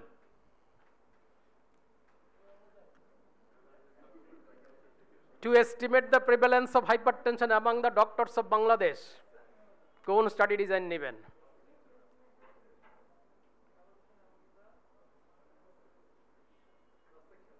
cross sectional study right most of the most numbers all এপিডেমিওলজির বইতে লেখা আছে ক্রস সেকশনাল স্টাডির আরেকটা নাম আর সেই আরেকটা নাম হলো প্রিভ্যালেন্স স্টাডি সুতরাং যখনই আপনি কোনো জিনিসের প্রিভ্যালেন্স জানতে চাইবেন, শোনেন প্রিভ্যালেন্স বলতে সবসময় কিন্তু ওই পাবলিক হেলথ পার্সপেক্টিভে চিন্তা করবেন না।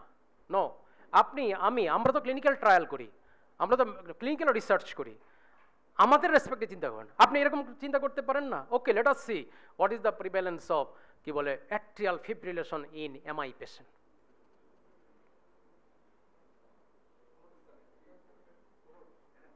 এইটা কোহর স্টাডি রাইট কারণ কোহর স্টাডি ছাড়া আপনি ইনসিডেন্স পাবেন না।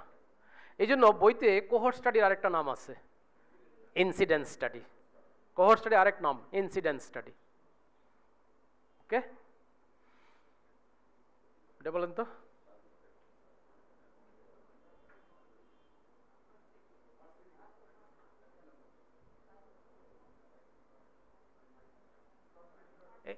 এখানে কিন্তু দুইটা অপশন আছে বার করেন।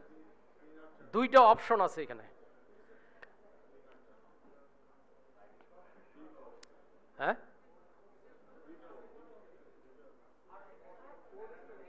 আর সিটি করতে পারি। কোহট কেন? আর সিটি করতে পারি আমি। আমি যদি আর সিটি করতে না চাই, তাহলে কি করবেন কোন? না না কেস কন্ট্রোল কেন হবে? ক্রস সেকশনাল স্টাডি করবেন। আপনি একটা ড্রাগকে মাথায় রাখেন বিটা ব্লকার আপনি খালি খুঁজবেন কে কে বিটা ব্লকার খায়। ওকে আপনি বিটা ব্লকার খান ফাইন আপনার কোনো সমস্যা আছে? সমস্যা, ব্যাস। এই স্টাডিটা করতে থাকেন না। এটা ক্রস সেকশনাল স্টাডি না। অথবা আপনি ড্রাগটা দিয়েও করতে পারেন। ড্রাগ দিয়ে যদি করেন, তাহলে এটা হবে আরসিটি বা ক্লিনিক্যাল ট্রায়াল আর যদি ড্রাগ দিলেন না আপনি, মানুষে খাচ্ছে এই ড্রাগ দেখি কি সাইড ইফেক্ট তাহলে এটা একটা cross sectional type of study হয়ে যাবে। এইটা?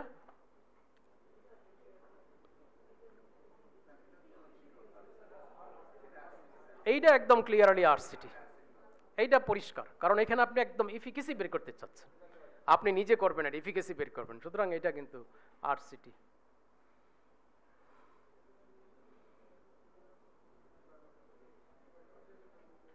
epidemiological evaluation of the COVID nineteen কার হয়, কোন সেক্সে হয়, কোন ক্লাসের হয়, কোন এইজে হয়, কোন ধরনের নিউট্রিশনাল স্ট্যাটাসে হয়, কি কমপ্লিকেশন হয়, বলেন। হ্যাঁ? ক্রস সেকশনাল স্টাডি একেবারে ক্রস সেকশনাল স্টাডি খুবই ইন্টারেস্টিং একটা প্রবলেম দিছি আপনাকে, বলেন। খুবই ইন্টারেস্টিং প্রবলেম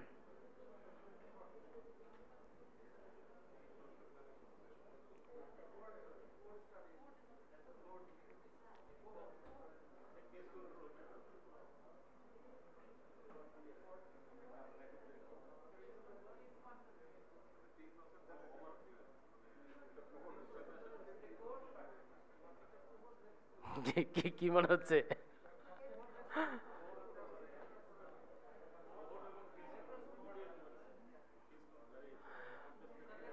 আপনারা আমার আসল উত্তরে দ্বারে গেছো, কারোর চিন্তা ভাবনা যাইতেছে না। আমি কিন্তু বুঝে গেছি, আপনারা কিন্তু অনেক বেশি বুঝে ফেলেছেন। এটা বুঝে গেছি আমি আর কি। আচ্ছা শোনেন, আমি বলি, এইটা ছিল একটা ডিজার্টেশন বিসিপিএস এর। এই ডিজার্টেশনটা আমার কাছে আসলো ইভালুয়েট করার জন্য। ছাত্র স্টাডি ডিজাইন লিখছে প্রসপেক্টিভ অবজারভেশনাল স্টাডি আমি তাকে ডেকে জিজ্ঞেস করলাম, তুমি তাকে কেন প্রসপেক্টিভ অবজারভেশনাল স্টাডি বললা? বলে, স্যার, তিন বছর ধরে কাজ করছি। তিন বছর লাগায় করছি। আমি বললাম আচ্ছা ঠিক আছে, ওকে নো প্রবলেম তুমি আমাকে বলো, একটা পেশেন্টের কাছে তুমি কয়বার গেছো? বলে, স্যার, একবারই গেছি। কারণ তুমি তো তার কি দেখছ? ক্লিনিক্যাল প্রেজেন্টেশন দেখছ।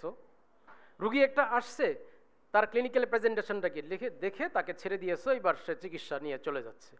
তোমার এই স্টাডির রেসপেক্টে এই স্টাডির মানে প্রয়োজনে এক পেশেন্টের কাছে দ্বিতীয়বার যাওয়ার দরকার পড়ছে? পড়ছে না। এটা তো হতেই পারে। আমি যদি পাঁচশোটা এমআই পেশেন্ট নিয়ে কাজ করি, আমি কি করে আশা করি বা এটা কি আশা করাটা আমার কি মানে ইথিক্যাল যে আমি এক ঘন্টায় পাঁচশোটা এমআই পেশেন্ট পেয়ে যাব। পাঁচশোটা এমআই পেশেন্ট তো পাঁচশো দিনে আইতে পারে। পাঁচ বছরে আইতে পারে। তো তাতে কি হয়েছে? এই স্টাডি যদি সে কেয়ামত পর্যন্ত করে, তাও এটা ক্রস সেকশনাল স্টাডি তাও ক্রস সেকশনাল টাইটেলটা মিসলিডিং হ্যাঁ আমি তো তিন বছর ধরে কাজ করছি, অসুবিধা কি? আমরা থিসিসে লিখি না থিসিসের পিরিয়ড লিখি না, যে আমি দুই বছর যাব থিসিস করছি আর কি। করি না আমরা? টাইটেল ভুল কই? টাইটেলের কোন জায়গায় ভুল আমারে বলেন? আচ্ছা আমি কি বলতে পারি না যে আমি তিন বছরে কাজটা করছি? এটা বলতেই পারি আমি অথবা দুই বছরে করলাম।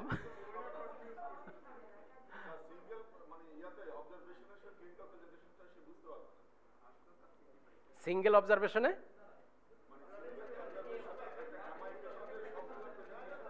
অসুবিধা নাই অসুবিধা নাই। আচ্ছা খুব মজার একটা কথা বলছেন আপনি। সিঙ্গেল মানে ইয়েতে বুঝতে পারব না, ভালো কথা। আচ্ছা মনে করেন সে রুগীটা আসলো, আসার পরে কিছু দেখল, তারপরে একটু চাটা খাইলো খাই আবার দেখল, অসুবিধা কি? দশ মিনিট পরে অসুবিধা কি? আমি তো কোনো ফলো আপ দিচ্ছি না, যে এটার জন্য এটা হয় কি না তা তো দেখছি না হ্যাঁ? একটা পরীক্ষার উদাহরণ মানে এক্সপিরিয়েন্স শেয়ার করি আপনাদের সাথে। এটা আপনাদের, আপনাদেরও কাজে লাগবে। এক ছেলে কি বলে একটা থিসিস পরীক্ষা। ঠিক আছে? তো তার টাইটেল ছিল, সে দেখবে যে ডিসলিপিডিমিয়ার সাথে করোনারি আর্টারি ডিজিজের সিভিয়ারিটি এটা হলো তার স্টাডির টাইটেল হ্যাঁ? Association of the dyslipidaemia with severity of coronary artery disease তো সে কাজটা করছে এইভাবে। যে সিএডি পেশেন্ট আসছে ডায়াগনোসিস করছে, করার পরে তাদেরকে এনজিওগ্রাম করছে। করার একটা স্কোরিং সিস্টেম করে তার সিভিয়ারিটি দেখেছে। তারপরে পেশেন্টদেরকে বলল, আপনারা আগামীকাল না খেয়ে সকালবেলা আইসেন। তো আসছে সকালবেলা। আসার পরে তার ব্লাড নিয়ে ডিসলিপিডিমিয়া ডিসলিপিড প্রোফাইল করছে ডিসলিপিডিমিয়া দেখেছে, তারপরে অ্যাসোসিয়েট করেছে। সে থিসিসের টাইটেলে লিখেছে cross sectional analytical type of study examiner একজন তারে দৈরা কইছে বলে, তুমি এটাকে কেন ক্রস সেকশনাল বললা? তুমি তো রুগীর সাথে দুইবার দেখা করছ। প্রথম দিন এনজিওগ্রাম পরের দিন আবার ডাইকাইন না ব্লাড নিয়ে লিপিড প্রোফাইল করছ, দুইবার দেখা করছ। তাহলে এটা ক্রস সেকশনাল কেন? মানে কঠিনভাবে টাইপের ধরছে আর কি। ছেলে, আমি আমি চুপচাপ করে শুনতেছি। ছেলেটা মোটামুটি মানে পাজেল হয়ে গেছে। তারপরে আমি আমার এই এক্সামিনারকে থামাইলাম, বলে, আপনি এবার একটু থামেন, এবার আমি কিছু কথা বলি। বলে, বলেন। আমি বললাম যে ওই ছেলে যে লিখছে ক্রস সেকশনাল স্টাডি এটা ঠিক লিখছে, এটা কারেক্ট বলতো আপনি এতক্ষণ কথা কন নাই কেন? আমি বললাম আমি বললাম, আমি দেখতে যে আপনি কতটুকু যান আর কি। তো বলে যে, কেন ক্রস সেকশনাল আমাকে বলল আর কি। তখন আমি ওনাকে পাল্টা প্রশ্ন করলাম আচ্ছা ধরেন আপনি এই কাজটা করতে যাচ্ছেন, আপনি রিসার্চার রুগীটা আসলো সিএডি ডায়াগনোসিস হলো, আপনি তার এনজিওগ্রাম করলেন, করে তার সিভিয়ারিটি দেখলেন, ঠিক আছে? তারপরে আপনি ভাবছেন যে, ঠিক আছে, আমার ফাস্টিং দরকার নাই, আমি একসাথেই করে ফেলব আর কি। তো এনজিওগ্রাম করার পর আপনি খুব টায়ার্ড হয়ে গেছেন। আপনি রুগীরে বললেন যে, আপনি বসেন, আমি আসতেছি। তো আপনি টি রুমে গেলেন, চা খেলেন গপ্প টপ্প করলেন, দুই ঘণ্টা পরে আসছেন। আইসে রুগীর ব্লাড নিলেন। ব্লাড নিয়ে লিপিড করলেন, করার পরে অ্যাসোসিয়েট করলেন। এইবার বলেন, আপনি কি বলবেন এটাকে? বলে যে ক্রস সেকশনাল স্টাডি আপনার তাহলে আমার ছাত্র না হয় আপনি নিচ্ছেন মানে তিন ঘণ্টা পরে এসে ব্লাড আর আমার ছাত্র না হয় বারো ঘণ্টা পরে নিচ্ছে তো সমস্যাটা কী হয়েছে কী সমস্যা হয়েছে এমন তো না যে এই বারো ঘন্টায় তার সব পরিবর্তন হয়ে গেছে, বা এর সাথে এর আমি ফলো আপ তা তো না। সিনারিওটা যেটা ছিল গতকাল, সেটাও আজকে সকালে আছে। সিনারিওর কোনো চেঞ্জ নাই। কাজে আপনি যদি পাঁচ মিনিট পরে যান, এক সিটিংয়ে দেখতে পারলেন না তার সাইন সিমটমগুলো ওকে আপনি দশ মিনিট পরে আবার যান না, কিচ্ছু কিচ্ছু না। এটাও ক্রস সেকশনাল স্টাডি এইটা খুব ইন্টারেস্টিং এটা বলেন তো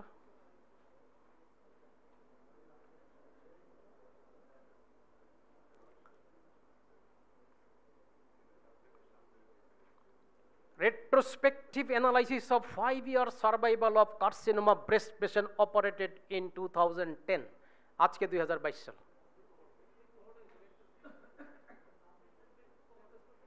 রেট্রোস্পেকটিভ কোহোর্ট স্টাডি ফ্যান্টাস্টিক এই তো হয়ে গেল তার মানে কি? আপনি আজকে দুই হাজার বাইশ সাল সাপোজ আপনি দুই হাজার দশ সালের রেকর্ড থেকে দেখবেন কার কার ব্রেস্ট সার্জারি হয়েছে, তাদেরকে পরবর্তী পাঁচ বছর পর্যন্ত ফলো আপ করে করে আসবেন কি পরিমাণ মডেল রেট্রোস্পেকটিভ কোহোর্ট স্টাডি এটা এটা একটা থিসিসের টাইটেল ছিল, ঢাকা মেডিকেল একটা পরীক্ষার, বলেন এটা। Prostate volume and post operative outcome following TARP hypothesis হলো, increased volume of prostate causes bad outcome. Increase increase volume বলতে বোঝাচ্ছি যে মানে তার surgery indicated surgery indicated prostate তার বড়, সেটাকে আবার দুই ভাগে ভাগ করছে। মানে বেশি বড়, কম বড়, এরকম আর কি। দুই ভাই big prostate small prostate TURP করলাম আউটকাম কম্পেয়ার করলাম।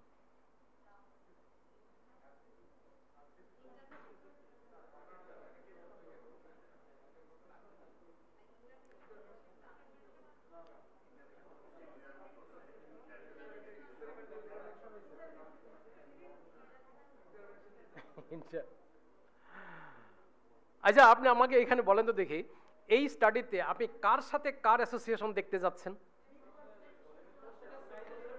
প্রস্টেট ভলিউমের সাথে পোস্ট অপারেটিভ আউটকাম সুতরাং আমার এখানে এক্সপোজার কিন্তু প্রস্টেট ভলিউম আর পোস্ট অপারেটিভ আউটকামটা আমার হলো ইফেক্ট বা আউটকাম আর কি।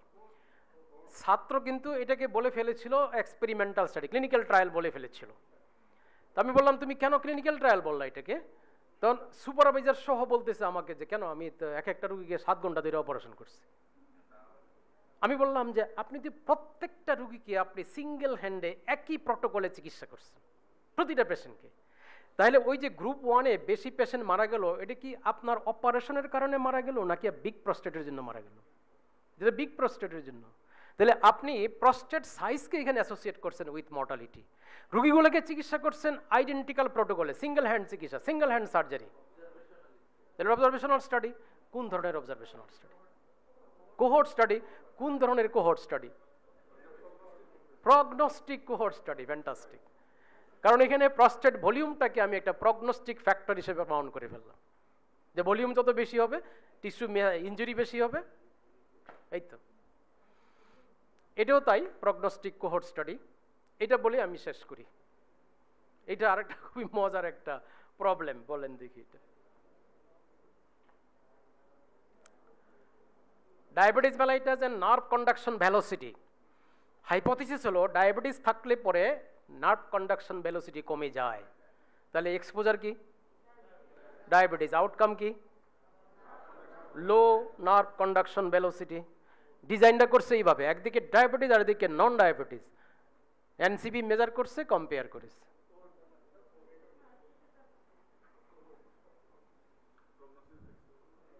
হুম হুম।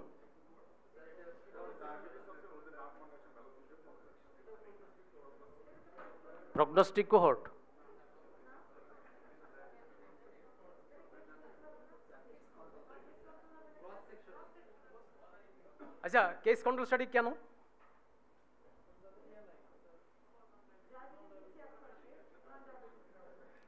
না না লুক লুক লুক আমার এখানে এক্সপোজার কি? ডায়াবেটিস আউটকাম কি? নার্ভ করে বলেছে তাহলে আমি ডায়াবেটিক রুগী তো আমার কেস হতে পারে না। এটা রুগী বললে কি কেস হয়ে গেল? না, এই এটা কিন্তু আমাদের আরেকটা মিসকনসেপশন মানে আমরা ডাক্তাররা কেস বলতে বুঝি কি রুগী? রিসার্চে এইটা, এইসব চিন্তা করলে হবে না। আচ্ছা আমি যদি একদিকে ডায়াবেটিস নিলাম আর একদিকে নন ডায়াবেটিক নিলাম, ঠিক আছে? ওকে বলেন। তাহলে আমার এনরোলমেন্টটা হয়েছে কিসের উপর ডিপেন্ড করে?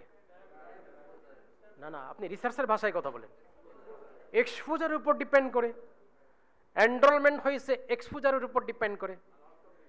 মনে হচ্ছে যেন ওটা কোহোর্ট স্টাডি কিন্তু ব্যাপারটা কি এরকম যে আমার এই যে এনরোলমেন্ট হলো ডায়াবেটিক নন ডায়াবেটিক প্রত্যেকেই ফ্রি ফ্রম মানে আউটকাম বা সবারই নর্মাল নার্ভ কন্ডাকশন ভেলোসিটি ব্যাপারটা এরকম, তা তো আমরা করছি না। যদি এরকম হইতো, একদিকে ডায়াবেটিক নিলাম একদিকে নন ডায়াবেটিক সবারই নার্ভ কন্ডাকশন ভেলোসিটি নর্মাল এবার দেখব আগামী পাঁচ বছর পরে কি হয়, তাহলে এটা কোহোর্ট স্টাডি হইতো। আবার এটাকে যদি কেস কাউন্টার স্টাডি বলেন, সেটাও তো আমি মানবো না। কারণ আমার এখানে আউটকাম কি? নার্ভ কন্ডাকশন ভেলোসিটি যদি সত্যি সত্যি আমি এখানে কেস কাউন্টার স্টাডি করতে চাই, তাহলে আমার কেস কারা হবে বলেন? যার নার্ভ কন্ডিশন ভেলোসিটি লো সে আমার কেস যার নার্ভ কন্ডিশন ভেলোসিটি নর্মাল সে আমার তাহলে এটা ক্রস সেকশনাল স্টাডি তাহলে এটা ক্রস সেকশনাল স্টাডি তাই না? এই এই জায়গাগুলা একটু খেয়াল রাখতে হবে। হ্যাঁ হ্যাঁ? কেন, মাথা আউট হবে কেন? আপনাকে শুধু কয়েকটা জিনিস মনে রাখবেন। এক কয়েকটা জিনিস শুধু মনে রাখতে হবে, সেটা হলো আপনার যে রিসার্চ ডিজাইন আপনার রিসার্চ ডিজাইনে এক্সপোজার কি আউটকাম কি? সেকেন্ড আপনাকে মনে রাখতে হবে আপনি এনরোলমেন্ট করেছেন কি দিয়ে? এক্সপোজার দিয়ে নাকি আউটকাম দিয়ে? কোনটা দিয়ে এনরোল করে কোনটা পরে খুঁজছেন?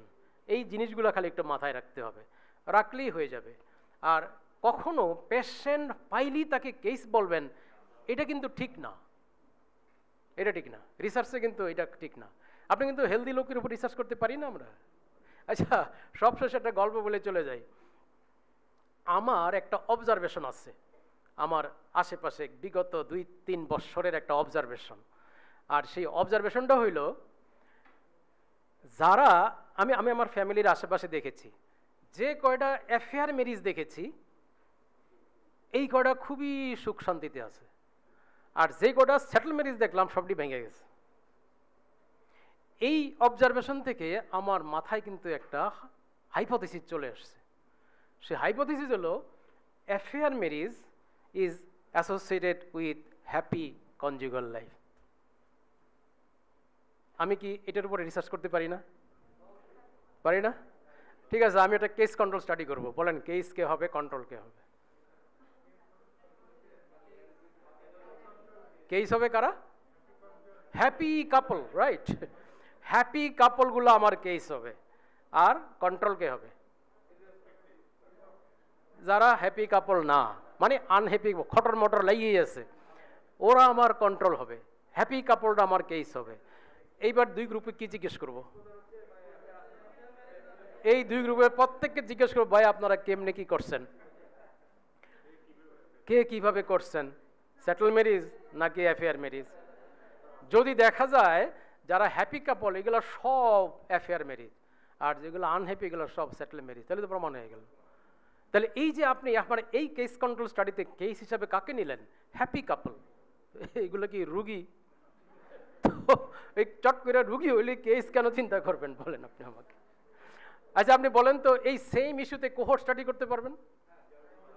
করেন? এক্সপোজ গ্রুপে কে যাবে?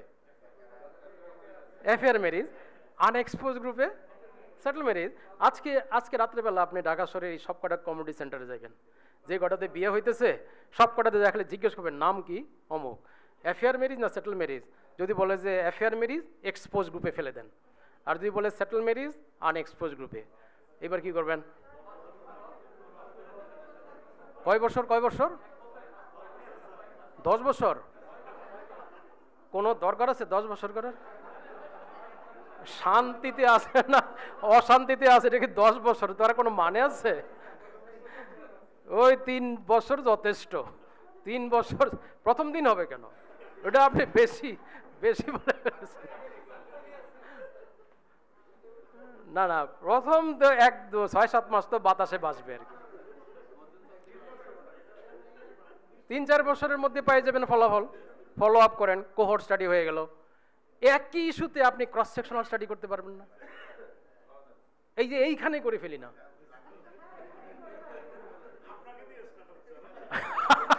আচ্ছা ওকে, আমাকে দিয়ে স্টার্ট করতে বলছে আমি। আপনি আমাকে কি প্রশ্ন করবেন? বলেন যে, স্যার, আপনি কি ম্যারিড এটা আগে বলবেন। আগে ম্যারিড কি জানতে হবে না? আন্দাজে খালি বলবেন যে, ভাই, আপনার কি বলে, ওই ওই যে, ওই ওই লোকের মতো। এক লোকে আপনাকে প্রশ্ন করলে বা আপনার বাচ্চা কাচ্চা কয়টা? বলে, দুই বাচ্চা, দুই দুই মেয়ে। বলে, আপনি কি ম্যারিড তৃতীয় প্রশ্ন করলে তো এটা হবে না ইনভ্যালিড আর তো আপনি আমাকে প্রশ্ন করবেন are you married yes married কীভাবে? তো আমি বললাম যে, আমি তো অ্যাফেয়ার ম্যারিজ তো তারপরে প্রশ্ন করবেন যে, আপনি কি ভালো আছেন? ওকে, ভালো আছি। এই তো, ডাটা পেয়ে গেলেন। এইবার স্যারের ডাটাটাই নেই না। এইবার এই স্যারের ডাটা নিলাম। বললাম যে, কি ম্যারিড তো ম্যারিড কীভাবে? সেটেল না অ্যাফেয়ার ওকে ভালো আছেন? না, খুবই খারাপ আছে। এই দেখেন, এইখানে সবার ডাটা পেয়ে গেলাম।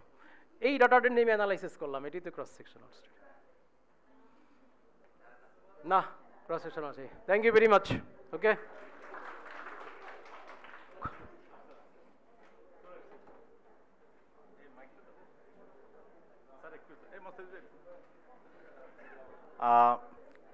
আমাদের রিজন স্যার কিন্তু আছে, এখানেই আছে। স্যার চা খাচ্ছে চলে আসবে এখনই। তো আমি প্রফেসর মোজাম্মেল স্যারকে আন্তরিকভাবে ধন্যবাদ জানাই। আমি এই পর্যন্ত আমরা সোসাইটি অফ সার্জনস থেকে যতগুলো আমরা রিসার্চ মেথোডোলজি বা ওয়ার্কশপ করছি স্যার ছিলেন না, একটাও ছিল না। আমরা যা অনলাইনে করেছি কোভিডের সময়, এরপরে ঢাকা মেডিকেল বা সিরাং মেডিকেলও করছি স্যার সহ, এবং আজকে এখানে সহযোগিতা আমি স্যারের প্রতি আন্তরিকভাবে কৃতজ্ঞ। আসলে স্যার কখনো এই পর্যন্ত না করেন নাই। স্যার আপনাকে অনেক অনেক কৃতজ্ঞ। আপনার কাছে অনেক ধন্যবাদ, স্যার। আমরা স্যারকে একটি, সবাই মিলে একটি ফুলের শুভেচ্ছা তুলে দিচ্ছি। যেহেতু ফাল্গুনের মাস, ফুলের মাস, স্যার ভালো থাকেন। আপনি বলছেন যে আপনি অ্যাফেয়ার ম্যারিজ করছেন, ভালো আছেন। আরও ভালো থাকেন, স্যার। ধন্যবাদ, sir.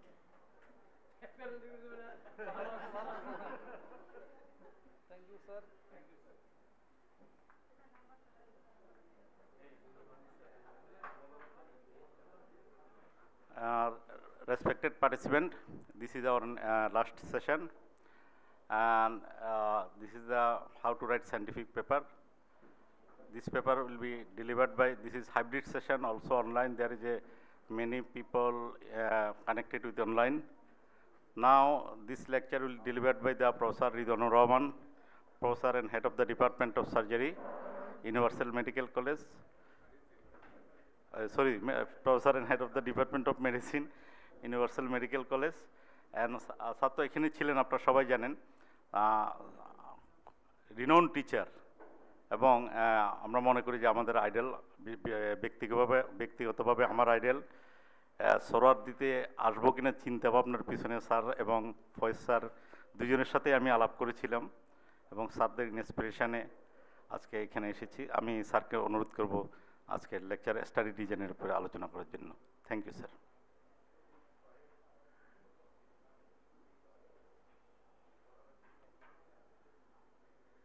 Thank you very much, Dr. Shaheen, for your kind words. Uh, most of the times, uh, experts make presentation, but today I am presenting on something where I am not an expert. Truly, I am a learner, and uh, still, because I am still a learner, uh, I, I, I read. I, I my main passing time is reading. So, uh, which are not used, useless reading maybe, you can think. যে আপনি কদিন পরে মারা যাবেন এখন কি জন্য পড়তেছেন? এগুলো কি করবেন? পরীক্ষা তো নাই সামনে কিছু নেই। তারপরও পড়ি। কারণ হচ্ছে সময় কাটানোর জন্য পড়তে হয় আবার হচ্ছে যে অনেকগুলো জিনিস পাইলেই দেখি যেটা জানি না আমি। জানি না বললেই ওটা আমাকে দেখতে হবে। এটা হচ্ছে problem so I am going to discuss today on how to write a scientific paper Uh, as I said, is a is a, learner a be will be than an expert an it's not that uh, one can be trained easily through a research methodology training to write a paper. Only we can look at what are the general principles uh, which should be applied to make a good scientific paper and get published in a peer-reviewed journal. That is the most important idea why we do research. তাহলে what is a scientific paper is a written and published report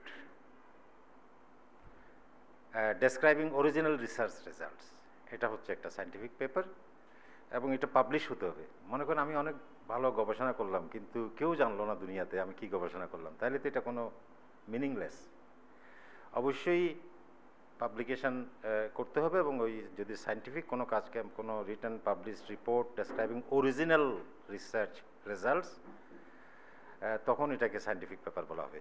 original বলে একটা শব্দ আছে এখানে। Original মানে একটা new work is একটা original work হতে হবে।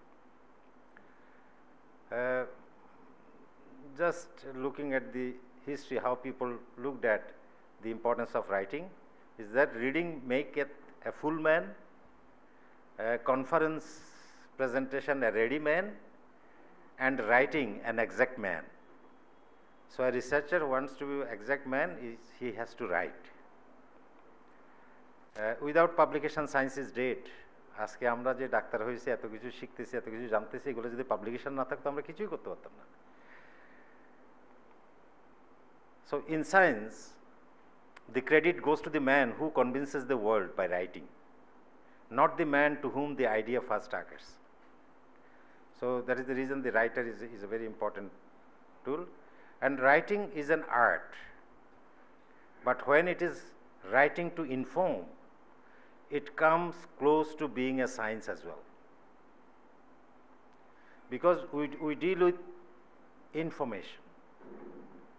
এবং এই ইনফরমেশনটা আরেকজনকে আমাকে কমিউনিকেট করতে হবে ট্রান্সফার করতে হবে এটাই হচ্ছে সাইন্টিফিক রাইটিং এবং it combines an art and science art এই জন্য যে আপনাকে আরেকজনকে খুশি করতে হবে আরেকজনকে কনভিন্স করতে হবে যে না আমার আর্টিকেলটা পড়ে এই জন্য এটাকে এটার মধ্যে একটা আর্ট থাকতে হবে শুধু সায়েন্স কাটকোটটা হলেই হবে না কিন্তু so you know that there are many types of articles ranging from uh, research papers, letters, uh, supplemental articles, miniature articles, review article, research notes, all can be. And there are many others also. But this is related primarily with the research articles that we can have credit out of writing any one of them. The first journal was written more than 300 years ago in 1665. The first scientific journal published uh, is known as in English the Philosophical Transaction of the Royal Society of London from London and Journal des Esquivans in France. যে দুইজন একসাথে ওরা competitor ছিল সবসময় so একই বছর দুজনেই প্রথম জার্নাল পাবলিশ হয়েছে রাইটিংয়ের কি কোনো বেনিফিট আছে? সো দি ডেসক্রাইব বেনিফিট হচ্ছে benefit is greater to the author than to the reader এই জিনিসটা বুঝতে হবে। আমি যদি কিছু লিখি, আমার ডেভেলপমেন্টটা অনেক বেশি হবে দেন উনি পড়ছে যিনি ওনার চেয়ে। তাহলে এই জন্য আমাদেরকে লিখতে হবে আমার সেলফ ডেভেলপমেন্টের জন্য not that I did something best it is an invaluable mental discipline writing হ্যাঁ যারা লিখেন, এখানে অনেকে আছে নিশ্চয়ই। হ্যাঁ এখন ফেসবুক হয়তো সুবিধা হয়েছে। আপনারা লিখবেন, শুধু লিখবেন। আমি ওদেরকে প্রমোট করি যারা লিখে, যে কোনো কিছু যারা লিখে, যদিও আমি পারি না লিখতে হবে কিন্তু এই জন্য যে somebody has to inform the rest of the people rest of the population which I have come to know I need to make it make you know in in as many ways as possible so is an invaluable mental discipline is writing it enhances clear thinking আপনি যদি না লিখেন, ভাষা ভাষা একটা জিনিস থাকবে, এটা পুরা সঙ্গতিপূর্ণ একটা রিটার্ন স্টোরি হবে না। এটা করতে গেলে আপনার ক্লিয়ার থিঙ্কিং চলে আসবে যদি আপনি লিখতে চান, লিখতে যান। Making a subject intelligible to others means you understand it এই জন্য বলে, কই ইয়ে কই ওখানে যে প্রফেসর ইমরান বিন ইউনুস ছিল, উনি বলতো বলে যে লেকচার দেবো এমন যে ছাত্ররা অর্ধেক বুঝবে অর্ধেক বুঝবে না, এটা বাসায় গিয়ে পড়ে নেবে। তাই বললাম, এটা কোনো লেকচার হতে পারে আপনি, আমি যদি নিজে বুঝাতে না পারি, তাহলে তো আমি নিজেই বুঝি না। আমি বুঝলে কেন বুঝাতে পারব না? এখানে গোপনীয় কোনো জ্ঞানে গোপনীয় বলতে কিছু নেই। জ্ঞান কখনো গোপনীয় হতে পারে না। তাহলে আমার যদি কোনো জ্ঞান থাকে, এটা অবশ্যই আমাকে বুঝাতে পারতে হবে আপনাকে। যদি আমি বুঝাতে না পারি, তাহলে কিন্তু আমার কাছে ওই জিনিসটা নেই। এই জিনিসটাই এখানে আমরা বলেছি যে intelligible to others improve your reading skills knowledge and skill are different. I talk here about the reading skill. It's not just reading. The read কিন্তু সবাই করতে পারে কিন্তু স্কিল রিডিং ইজ নট তাহলে কি করতে হবে আমি একটা কোড বলি সিএনএন এর কোড বলছে reading without thinking is useless thinking without reading is dangerous thinking is nothing but linking with the previous informations you have in your brain many many informations so whenever you read you, you have to think otherwise, এটা একটা ছোট গল্প পড়ার মতো হয়ে যাবে এবং এটা কোনো থিঙ্কিং থাকবে না। It satisfies a creative instinct all of you have তাহলে আমার দেশের সমস্যা হয়েছে কি, আমরা যারা ডাক্তার হয়েছে, আমিও আপনাদের মতো হয়ে, আপনাদের মতো হয়েই রিটায়ার করে আজকে এখানে চলে আসছি। আমরা কিন্তু আমাদেরকে শিখাই নাই প্রবলেমটা হচ্ছে ওখানে। আমাকে শেখার সুযোগ দেয়নি কারণ যদি আমাকে শেখার সুযোগ দিত, তাহলে না আমি শিখতে পারতাম। আমি তো এটা দেখিই নাই রিসার্চ আমার টিচাররা কোনোদিন রিসার্চের নামও ধরেনি। এখন তো তাও আপনারা কিছু নাম শুনতেছেন ম্যাথোলজি করতেছেন, ইত্যাদি করতেছেন, কিন্তু আমার সময় এটা ছিলই না।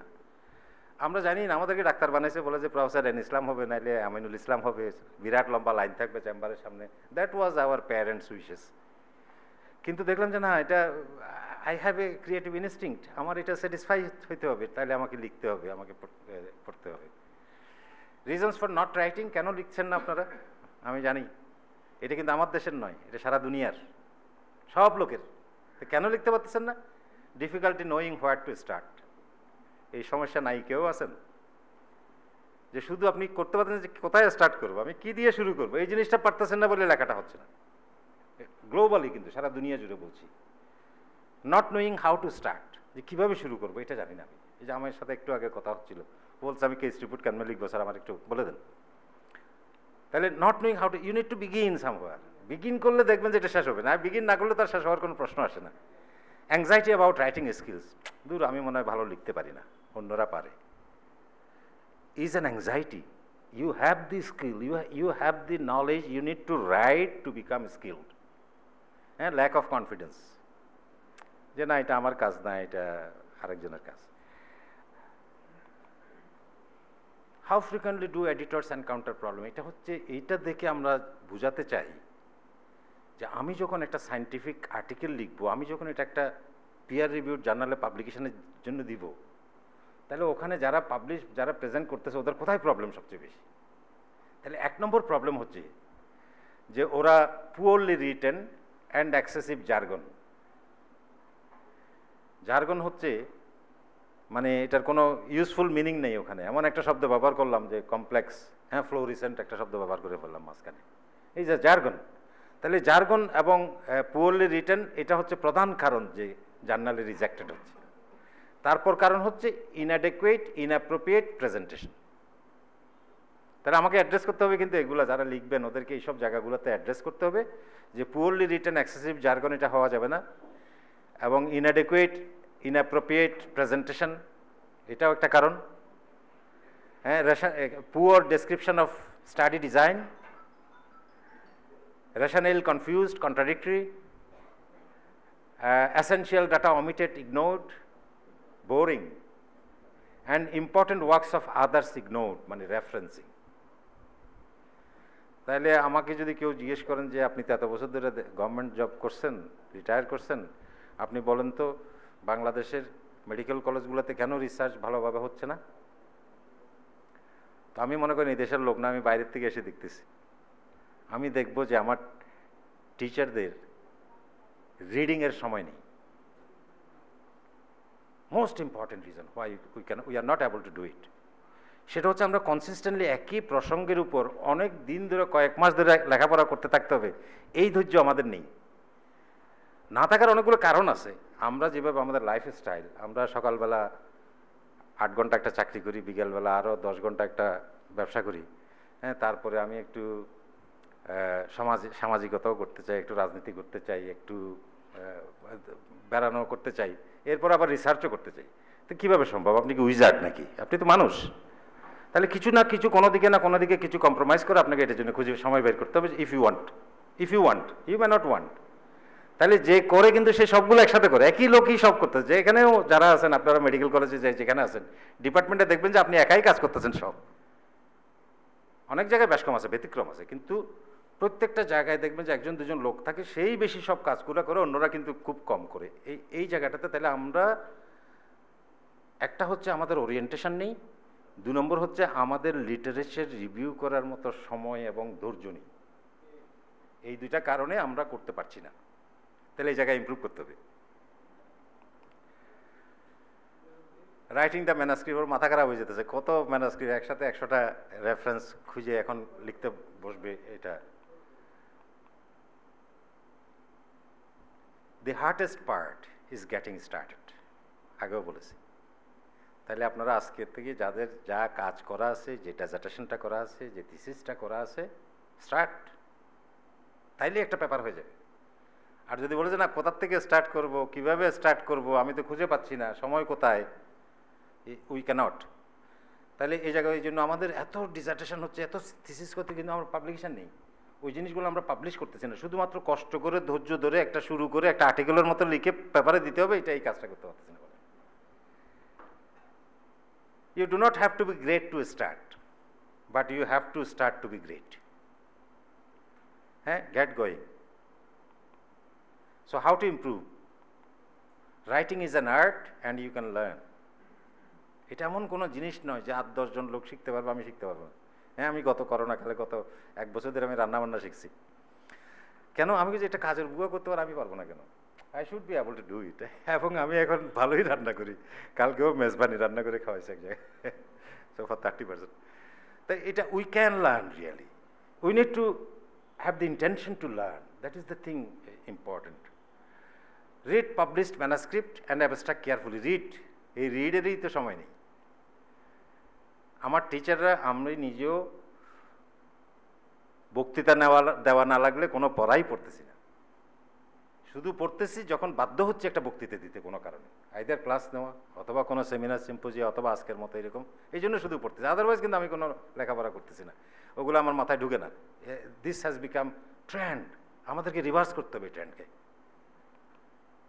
প্র্যাকটিস প্র্যাকটিস প্র্যাকটিস শুধু বিকেলবেলা প্র্যাকটিস করলে হবে না রাইটিংয়ের জন্যও প্র্যাকটিস করতে হবে। তাহলে practice practice practice is the way how we can improve our writing get help from your mentors colleagues গবেষণা একা একা করা যায় না, এমন কোনো রিসার্চ আর্টিকেল দেখাতে পারবেন না যেটা একজনে করছে। কারণ হচ্ছে, আমার ভুলটা আমি দেখতে পাবো না। মানুষ নিজের ভুল দেখতে পায় না। যদি দেখতে পেতো, তাহলে তো সে ভুলটা করতো না। তাহলে এখন যখন আমি আর ফয়েজ ভাই তো বেশি কোরিলেট করি অনেকগুলো কাজে, তো আমি যখন তিনবার, চারবার দেখে টেকে কাগজটা ওনাকে দিলাম, উনি ওখানে পাঁচটা ভুল বাইর করে দিল। আবার উনি লিখে যখন আমাকে দিল, আমি ওখান থেকে আরও চারটা ভুল বাইর করে দিলাম। কিন্তু আমারটা আমি দেখি নাই কিন্তু, আমি এটা দশবার করেছি কিন্তু আমি ভুল আমি দেখিনি তাহলে নিজের ভুল নিজে দেখা যায় না, এই জন্য আরেকজনের সহযোগিতা নিতে হবে, আরেকজনকে দিয়ে পড়াইতে হবে, এরকম যদি আরেকজনকে পড়ানোর মতো লোক পান, আপনি ভাগ্যবান। আপনার একজন লোক আছে, আপনি পাবেন না কিন্তু। আপনার কলিগ আপনাকে পড়িয়া বলবে না যে এটা একটা ক্রিটিসিজম করার জন্য এটা আমার সিচুয়েশনটা এমন attend classes in writing skills and read books you are doing today. So, some truths about good writing not all great papers are written well. Some of the best written papers are not the best scientific works because they know the art, not the science. A lot depends on what you have to say. Good writing matters most to most of us. So, uh, okay, what makes a good research paper? When a paper has good science, good arts, humanities, business, management, education, if you combine all of them together, cross cutting, শুধু স্বাস্থ্যের জন্য নয় অনেক কিছুর জন্য cross cutting মানে এটা অন্য good writing Makes a good paper and publication in good journals এই তিনটা ক্রাইটেরিয়া থাকলে it becomes a good research paper so our goal is to make scientific writing readable and easy to understand some general rules. Use the present tense when referring to work that has already been published, but past tense when referring to your own study. Use the active voice as much as possible. Avoid lengthy or unfocused reviews of previous research. শুধু focused, pointed. Cite peer-reviewed scientific literature or scholarly reviews. Avoid general reference works such as textbooks. Textbooks are at least 15 years old. At least বললাম তাহলে text book আমি আমি তো গত দশ বছরে কোনো টেক্সট বই পড়িনি বা বিশ বছর হতে পারি না because text is is very old you to be updated যে আমরা চেষ্টা করতে হবে জানলে তো আমরা এভিডেন্স বেসড ফিজিশিয়ান হতে পারব না unless I I can update myself বলে যে স্লিপারি স্লোপ অফ নলেজ একজন মেডিকেল অফিসার একজন ডক্টরকে যদি মেডিকেল কলেজ থেকে একটা রুরাল এরিয়াতে পোস্টিং দেওয়া হয় বলছে he he he runs in a slippery slope of knowledge এবং দেখা যাচ্ছে, দশ বছর পরে ওর আর কোনো বুক নলেজ থাকে না মেডিকেল কলেজ থেকে যেগুলো শিখেছে এরপরে they become qualified quacks they learn medicine from the medicinal representatives আশা বলতেছে, রেবিপ্রাজল বিশ গুণ অ্যাসিড কমায় দেন ওমেপ্রাজল। তো যে ডাক্তার পড়ালেখা বুঝতেছে না, সে বলতেছে, আরে বাবা, এটা তো ভেরি পাওয়ারফুল কিন্তু যদি পড়ালেখা বুঝতো, সে দেখবে যে দুইটাতেই আলসার হিলিং রেট সমান। আমি বিশ পার্সেন্ট কেন বেশি সাবটেস করতে যাব? কথার কথা বলতেছি গল্প বলতেছি। তাহলে যদি আমি নিজে অ্যাক্সেস করতে না পারি ইনফরমেশনটা আমাকে ওইটা ইনফরমেশন অ্যাকসেপ্ট করা ছাড়া আমার কোনো রাস্তা নেই। Because I do not have any alternative source of information তাহলে এই কারণে যে আমাদেরকে আপডেটেড থাকার জন্যই ওই যে ওই যে আপডেটেড থাকতে পারে এটা পড়তে হয় আমাদেরকে যে আপডেটেড থাকতে চেষ্টা করি বলি। কিন্তু সম্ভব নয় সব কিছু বলতে কিছু নেই।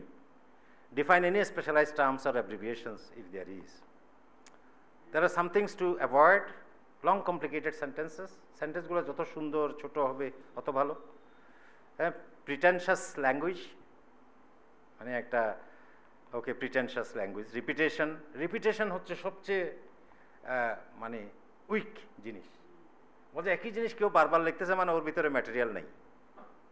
থাকলে সে একই জিনিস বারবার লিখতো না সে অন্য কিছু লিখতো। তাহলে repetition in article is is should be seriously avoided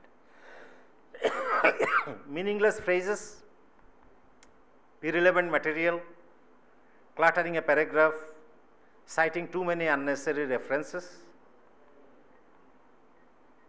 discussion in the result section very common very common থিসিসগুলো যে দেখি আমরা, ওকে কারেকশন করতে গিয়ে আমাকে এই জায়গায় কারেকশন করতে হয়।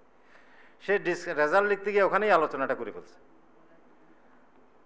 Results in the discussion section results যেটা ডিসকাশন লিখছে, ওটা টু থার্ড হচ্ছে রেজাল্টের রিপিটেশন তাহলে রেজাল্টের রিপিটেশন করা যাবে না। রেজাল্টের ইমপ্লিকেশনটা হচ্ছে ডিসকাশন যে এই যে পাইলাম আমি, এত পার্সেন্ট মেইল এটার ইমপ্লিকেশনটা কি? আমি ডিসকাশনে গিয়ে আবার লিখব না যে there were thirty two percent male because আমি ওটা লিখে এসেছি, ইয়েতে রেজাল্টে it it will not be repeated so this are very important points to be considered while you are submitting your paper information can be in the introduction or discussion যদি আপনি কোনো information already known information দিতে চান, সেটা introduction এবং ডিসকাশনে যাবে, মাঝখানে নয়। Repetition of information in tables and figures in the text তাহলে একই জিনিস ট্যাবলও দেব, আবার একই জিনিস বর্ণনা করব, এই দুটা হবে না, এই যে রিপিটেশন একটা ট্যাবল হবে সেলফ কমপ্লিট কেন সেলফ কমপ্লিট ও যেন ট্যাবলটা পড়তে গিয়ে আবার যেন লিটারেচার খুঁজে খুঁজে পড়তে না হয়, কোথায় এটা সম্পর্কে লিখছে, এরকম নয়। তাহলে ট্যাবল করার মধ্যেও একটা মুন্সিয়ানা আছে, যে আপনাকে ওটা ওইভাবে করতে হবে। Before starting to write a paper record your readings যা যা পড়ছেন, ওইটাকে ওইটাকে একটা সামারি পেপার করেন। যে এইসব জিনিসগুলো আমি করতে পেয়েছি চুম্বক, সাথে সাইটেশনগুলো এক জায়গায় রাখেন রেফারেন্সগুলো মেক টেবলস হ্যাঁ এটাকে ডামি টেবল বলে। ফিল আউট করার আগে আপনি ডামি টেবল করবেন। তাহলে আপনারা যারা রিসার্চ করা আছে, ওরা ডাটাগুলো ওদেরকে দিবেন। একজন ডাটা অ্যানালাইসিস যারা করতে পারে, আপনি ডামি টেবলটা বানিয়ে দিবেন, ওরা এটা পূরণ করে দিবে। This is the way how you can get the result তাহলে it is it is very easy এটা আমরা মানে আমরা প্র্যাকটিস করি না তো এই জন্য আমাদের কাছে মনে হচ্ছে অনেক কঠিন এবং আমরা করি না কিন্তু this are not really tough to do তাহলে ড্র গ্রাফস যদি কিছু থেকে থাকে keep file to record summaries of results and any observation however insignificant date the files. Revise your readings. You may need to repeat an experiment while you still have the materials. Basic সাবজেক্টের জন্য, you can. Write ideas whenever they come to you এখন তো বিশাল সুবিধা আছে, হাতের মধ্যে এটা আছে। হ্যাঁ আমাদের স্টুডেন্ট লাইফে যদি এটা থাকতো, আমি ফাটাই ফেলতাম আমরা এগুলো। এখন কত কষ্ট করে বই খুঁজে খুঁজে পড়তে হয়েছে লাইব্রেরি থেকে লাইব্রেরি দৌড়া দৌড়া পড়তে হয়েছে, কষ্ট করতে হয়েছে। এখন তো is are at your finger tip যদি আপনি ইউজ করতে চান। তাহলে সবার গাড়ি আছে, গাড়িতে বসে বসে কী করেন? শুধু গল্প না করে একটু গুগল করে ফেলেন। আজকে এই শব্দটা শুনছি let me Google it just Google it হ্যাঁ এত ইনফরমেশন পাবেন যে আপনি মাথা খারাপ হয়ে যাবেন। What are what parts of a paper are read and by whom the mass, majority of readers of a journal will read at most the title. And may look at the list of authors. এখানেই শেষ ninety percent তাহলে আমি যখন একটা paper লিখব, তখন আমাকে এই জায়গায় সবচেয়ে বেশি হিট করতে হবে if I want to attract the reader to read my paper it is in the title it is at the authors also get as much of the paper into the title as you can and try to make it provoke interest in reading the summary. তাহলে এমন একটা চুম্বক title হতে হবে, যেটা দেখে অনেকে attract হতে পারে, এটার সাথে আমার সাথে মিলে গেছে। এবং এটা যেন ও যেন সামারিটা পড়তে বাধ্য হয়, এইভাবে করে একটা টাইটেল লিখতে হবে। Much a smaller proportion will read the summary get all the key messages into the summary. Such that সে পরের পোর্শনটা পড়তে ইন্টারেস্টেড হয়। তাহলে আমাকে প্রত্যেকটা জায়গায় ওকে এমন একটা ইন্টারেস্ট দিতে হবে যেন এর পরের সেকশনটা সে পড়ে। না পড়লে আমি কেন লিখছি? না পড়লে আমি কেন এই আবিষ্কার করলাম? কারও যদি পড়াইতে না পারি। হলো না। তাহলে আমাকে কাউকে না কাউকে পড়াতে হবে। পড়াইতে গেলে আপনাকে এই কাজগুলো করতে হবে। A small proportion of readers will scan the tables and figures কিছু আছে, চট করে ফিগার ট্যাবলগুলো দেখে বলবে যে এখানে কিন্তু সে ভিতরে পড়বে না। এই জন্য ফিগার টেবলটা সেলফ কমপ্লিট হইতে হবে। যাতে সে আরেকটা বই লিটারেচার পড়তে না হয় বোঝার জন্য। Make this comprehensible without having to read the paper table graph একই কথাটা আবার বললাম। A tiny proportion of readers, বলে যে more less than one percent will read the whole paper এবং হোল পেপার কারা পড়ে? Only people in the field and working on same issue অথবা কেউ একটা থিসিস করতেছে ডিজার্টেশন করতেছে, ওরাই পড়ে। Unless this are very crucial for example vaccine trial COVID vaccine এটা পড়বে অনেকে।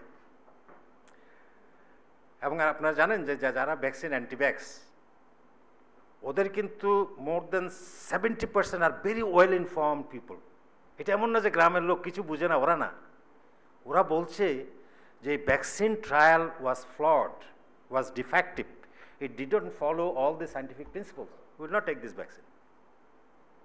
ওরা না বুঝে করে ওরা ভ্যাকসিনের সব পেপারগুলো পড়ে, ওরা এগুলো পেপার সহ বুঝে বুঝে ওদের মধ্যে পাবলিসিটি আছে যে কারণে ওরা বলতেছে এটা safety is not adequate in terms of the gold standard scientific clinical trials the safety data is inadequate যে কারণে ওরা ভ্যাকসিন নিচ্ছে না তাহলে আবার কতগুলো আছে নেব না, এটা তো আছেই তাহলে এই জন্য পিপল ইন দ্য ফিল্ড এবং working on the same issue না হলে আপনার পেপার কেউ পড়বে না।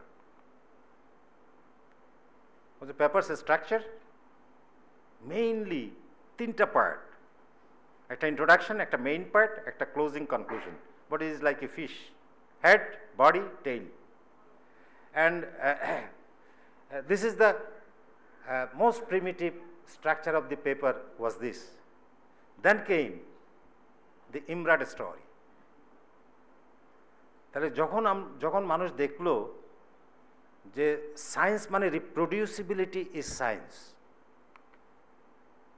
তাহলে আমি যদি বলি এখন এইচআইভির ওষুধ আবিষ্কার করছি, কেউ কিন্তু আমাকে বিশ্বাস করবে, মাথা খারাপ হয়েছে, স্বপ্নে দেখছে। কিন্তু আমার অ্যাবসেন্সে আমার ইনফ্লুয়েন্স ছাড়া আরেকজন যখন এটা আবিষ্কার করবে, কি জিনিস বলবে? বলছে হ্যাঁ এটা তো কাজ করে। তখন সন্দেহ করবে, বলছে, এটা হইতেও তো পারে। তখন আরও বিভিন্ন জায়গায় ট্রায়াল হবে রিপ্রোডিউসিবল হতে হবে। যে একই ওষুধ আমি দিলাম ওরা এইচআইভি নেগেটিভ হয়ে গেছে। তখন মানুষ বিশ্বাস করবে।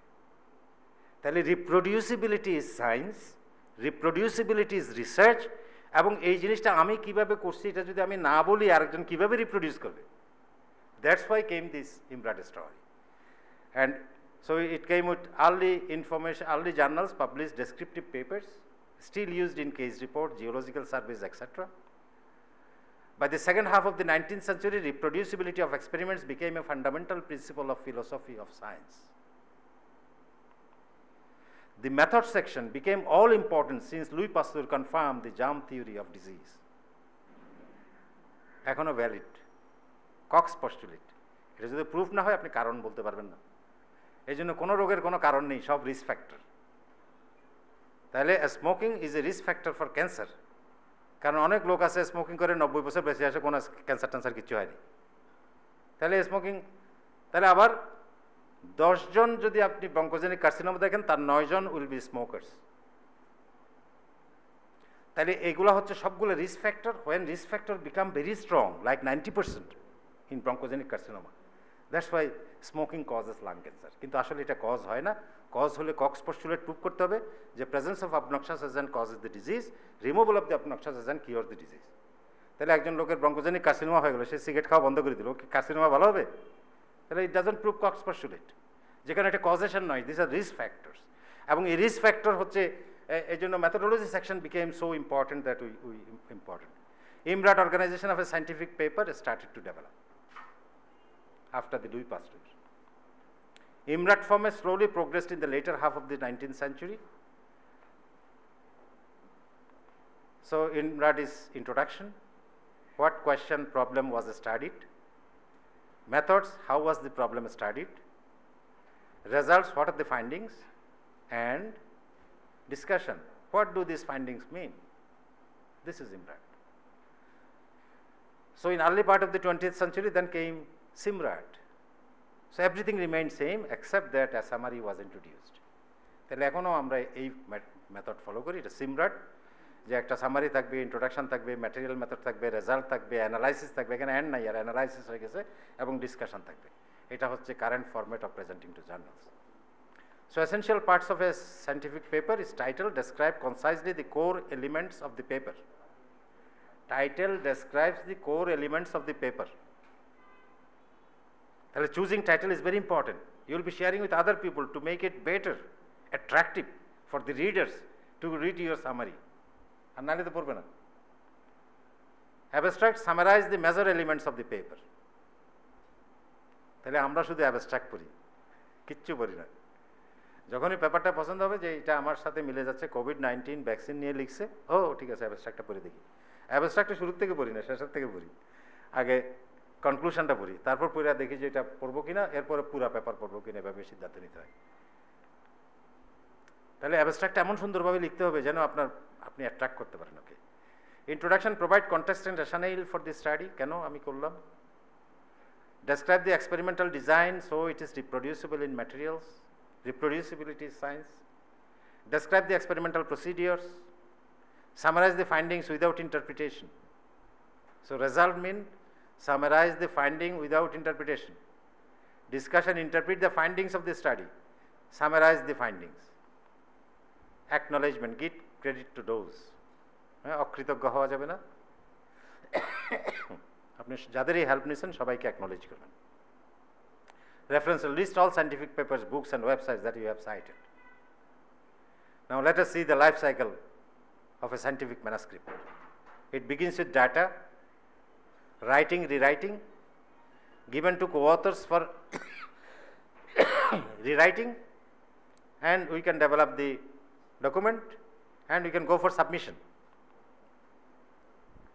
submission can be rejected altogether. So re revise and resubmit.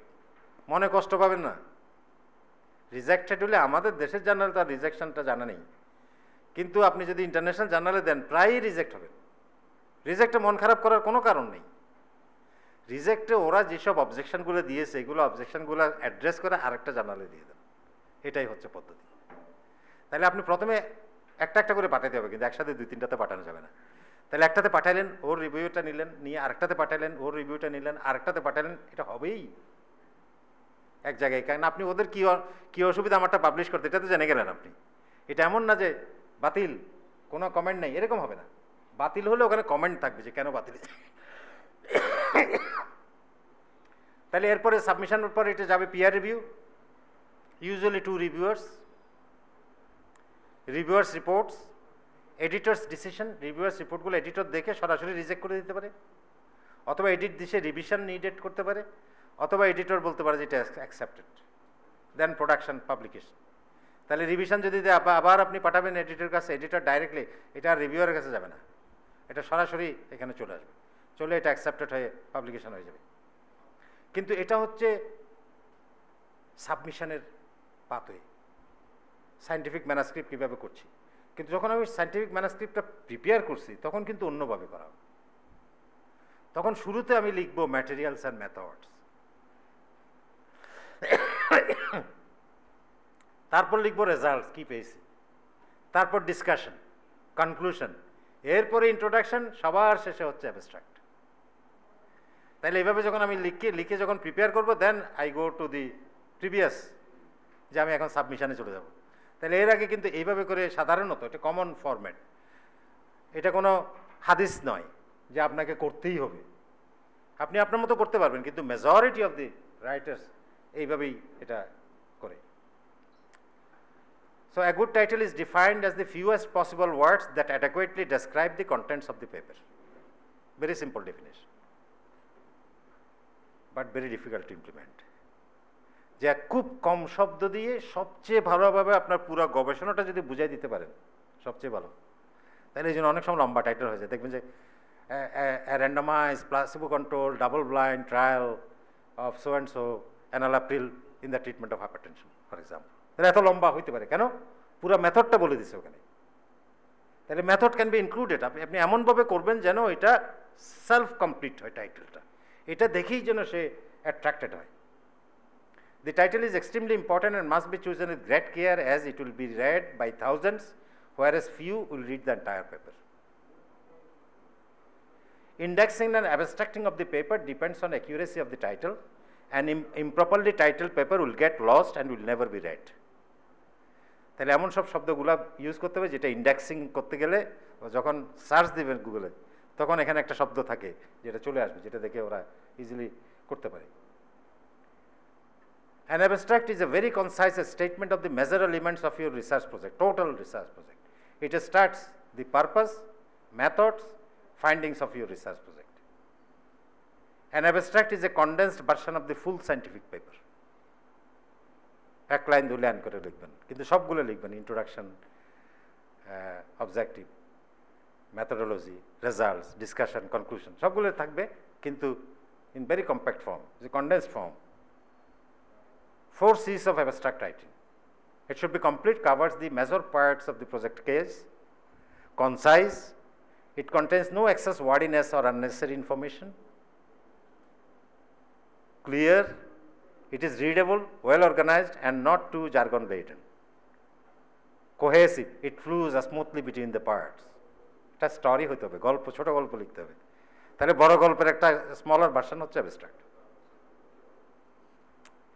তাহলে আমরা যদি আবার দেখি যে ইন্ট্রোডাকশানে আমরা দেব হচ্ছে যে observation patterns in space and time মানে কি information is known around the world in country perspective এবং আমার এক্সপেরিমেন্টাল থিওরিস কি মডেল কি হাইপোথেসিস কি তিনটা মিলে হচ্ছে introduction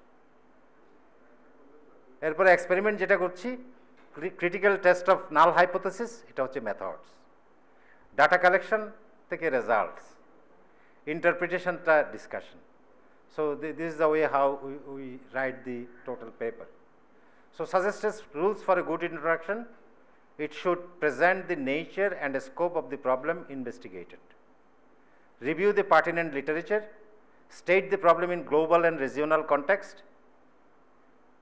state what is known and what is not known এই দুইটার গ্যাপটাই হচ্ছে information gap research is done to address information gap যে ইনফরমেশন কনফার্ম হয়ে গেছে সেটা তো জানার দরকার নেই। তাহলে প্যারাসিটামলে মাথা ব্যথা কমায় কিনা? এটা কোনোদিন আপনি কোনো ফান্ডিং এজেন্সি আপনাকে টাকা দিবে না। বলছে এটা তো শতসিদ্ধ দুনিয়ার যে কোনো কর্নারে যান প্যারাসিটামল দুইটা খাইলে মাথা ব্যথা কমবেই। তাহলে এটার জন্য স্টাডি হবে না। স্টাডি হবে, মনে করেন একটা কোম্পানির প্যারাসিটামল খাইয়া দুজনের নেফ্রোপ্যাথি হয়ে গেছে, তখন আপনি চেক করতে পারেন যে এটা প্যারাসিটামল ঠিক আছে কিনা, এটা এটা প্যারাসিটামল হলো, এটা নেফ্রোপ্যাথি যেটা আমাদের এখানে ডিটেক্টেড হয়েছিল, একবার আপনারা জানেন। তাহলে what is known what what is unknown এই দুটার মাঝখানে হচ্ছে আমার গবেষণা। State the information gap and primary objective of the work Material method section provide full details so that the experiments are reproducible. তাহলে একটা ওষুধ ব্যবহার করলে ওই- ওষুধের ব্যাচ নাম্বার সহ লিখতে হবে আপনাকে যে টেস্টটা করবেন একটা বায়োকেমিস্ট্রি করছেন বায়োকেমিস্ট্রি যে অ্যানালাইজার ওইটার নাম সহ ওইটার ব্র্যান্ড সহ ওইটা অরিজিন সহ লিখতে হবে such that it is reproducible If the peer reviewer has doubts that the experiments could be repeated, the manuscript will be rejected. তাহলে এই জায়গায় যদি পিয়ার রিভিউয়ার মনে হয় যে না, এটা তো রিপ্রডিউসেবল হবে না, ও যে মেথড দিছে it will be rejected organize the method under sub headings with related methods describe together experiment subject experimental design measurement হরমোনেসিস etcetera etcetera describe the experimental design in detail do not mix some of the results in this section আবার result নিয়ে আসবেন না। এতজন mail ছিল, এতজন female ছিল মেথডের মধ্যে এটা আসবে না। রাইট ইন দ্য পাস্ট অ্যান্স এটা হচ্ছে আরেকটা জিনিস যে ম্যাটেরিয়াল মেথডটা পাস্ট টেন্সে লিখতে হবে were So methods, items on checklist, trial design, participants, intervention, outcomes, sample size, randomization, blinding, statistical methods. This is for a clinical trial. যদি লিখতে যান মেথড সেকশনে এরকম আলাদা আলাদা করে প্রত্যেকটা জিনিস লিখে ফেলতে হবে So how to write the result section is written in the past tense. It is the core or heart of the paper. it needs to be clearly and simply stated since it constitutes the new knowledge contributed to the world. The purpose of this section uh, is to summarize and illustrate the findings in an orderly and logical sequence. Time ki exercise achi? Okay. Illustrate the findings of an, in an orderly and logical sequence without interpretation is the result. There will be no interpretation of the findings. The text should guide the reader through the findings, stressing the measure points. সব একই রকম রাখলে হবে না কিছু priority দিতে হবে কোন পয়েন্টগুলোকে do not describe methods that have already been described in the material method section or that have been inadvertently omitted. So items on the checklist for results participant flow মানে কীভাবে রিক্রুটমেন্ট করা হয়েছে কীভাবে করা হয়েছে recruitment baseline data numbers analysed outcomes and estimation of precision, ancillary analysis, and adverse events. So, these are components of the result section. Methods of presenting the data directly in the text, in a table, in a figure. আপনি যে কোনোভাবে present করতে পারেন All figures and tables must be accompanied by a textual presentation of the key findings. Never have a table or figure that is not mentioned in the text. তাহলে কোনো mention করি শুধু একটা টেবল দিয়ে দিলাম এরকম হবে না মেনশন এটা কেন টেবলটা দিছে ওই সম্পর্কে আমাকে বলতে হবে Use of figures and table, evidence to summarize data that supports your finding is evidence. Efficiency to give precise data that cannot easily be presented in the text. Emphasis to highlight key points. তাহলে figures, one figure is worth 500 words. তাহলে এই জন্য figure অনেক ভালো যদি আপনি ওভাবে ফিগারগুলো করে নিয়ে আসতে পারেন এবং টেবলসগুলো তাহলে অনেক কিছু না লিখে আপনি একটা ফিগারের মধ্যে একটা টেবলের মধ্যে অনেক বেশি জিনিস আপনি ইন্ট্রোডিউস করে দিতে পারেন a picture can worth five hundred words So tips for writing the discussion, restate the main question with the answer. Restate the main study question, research question with the answer.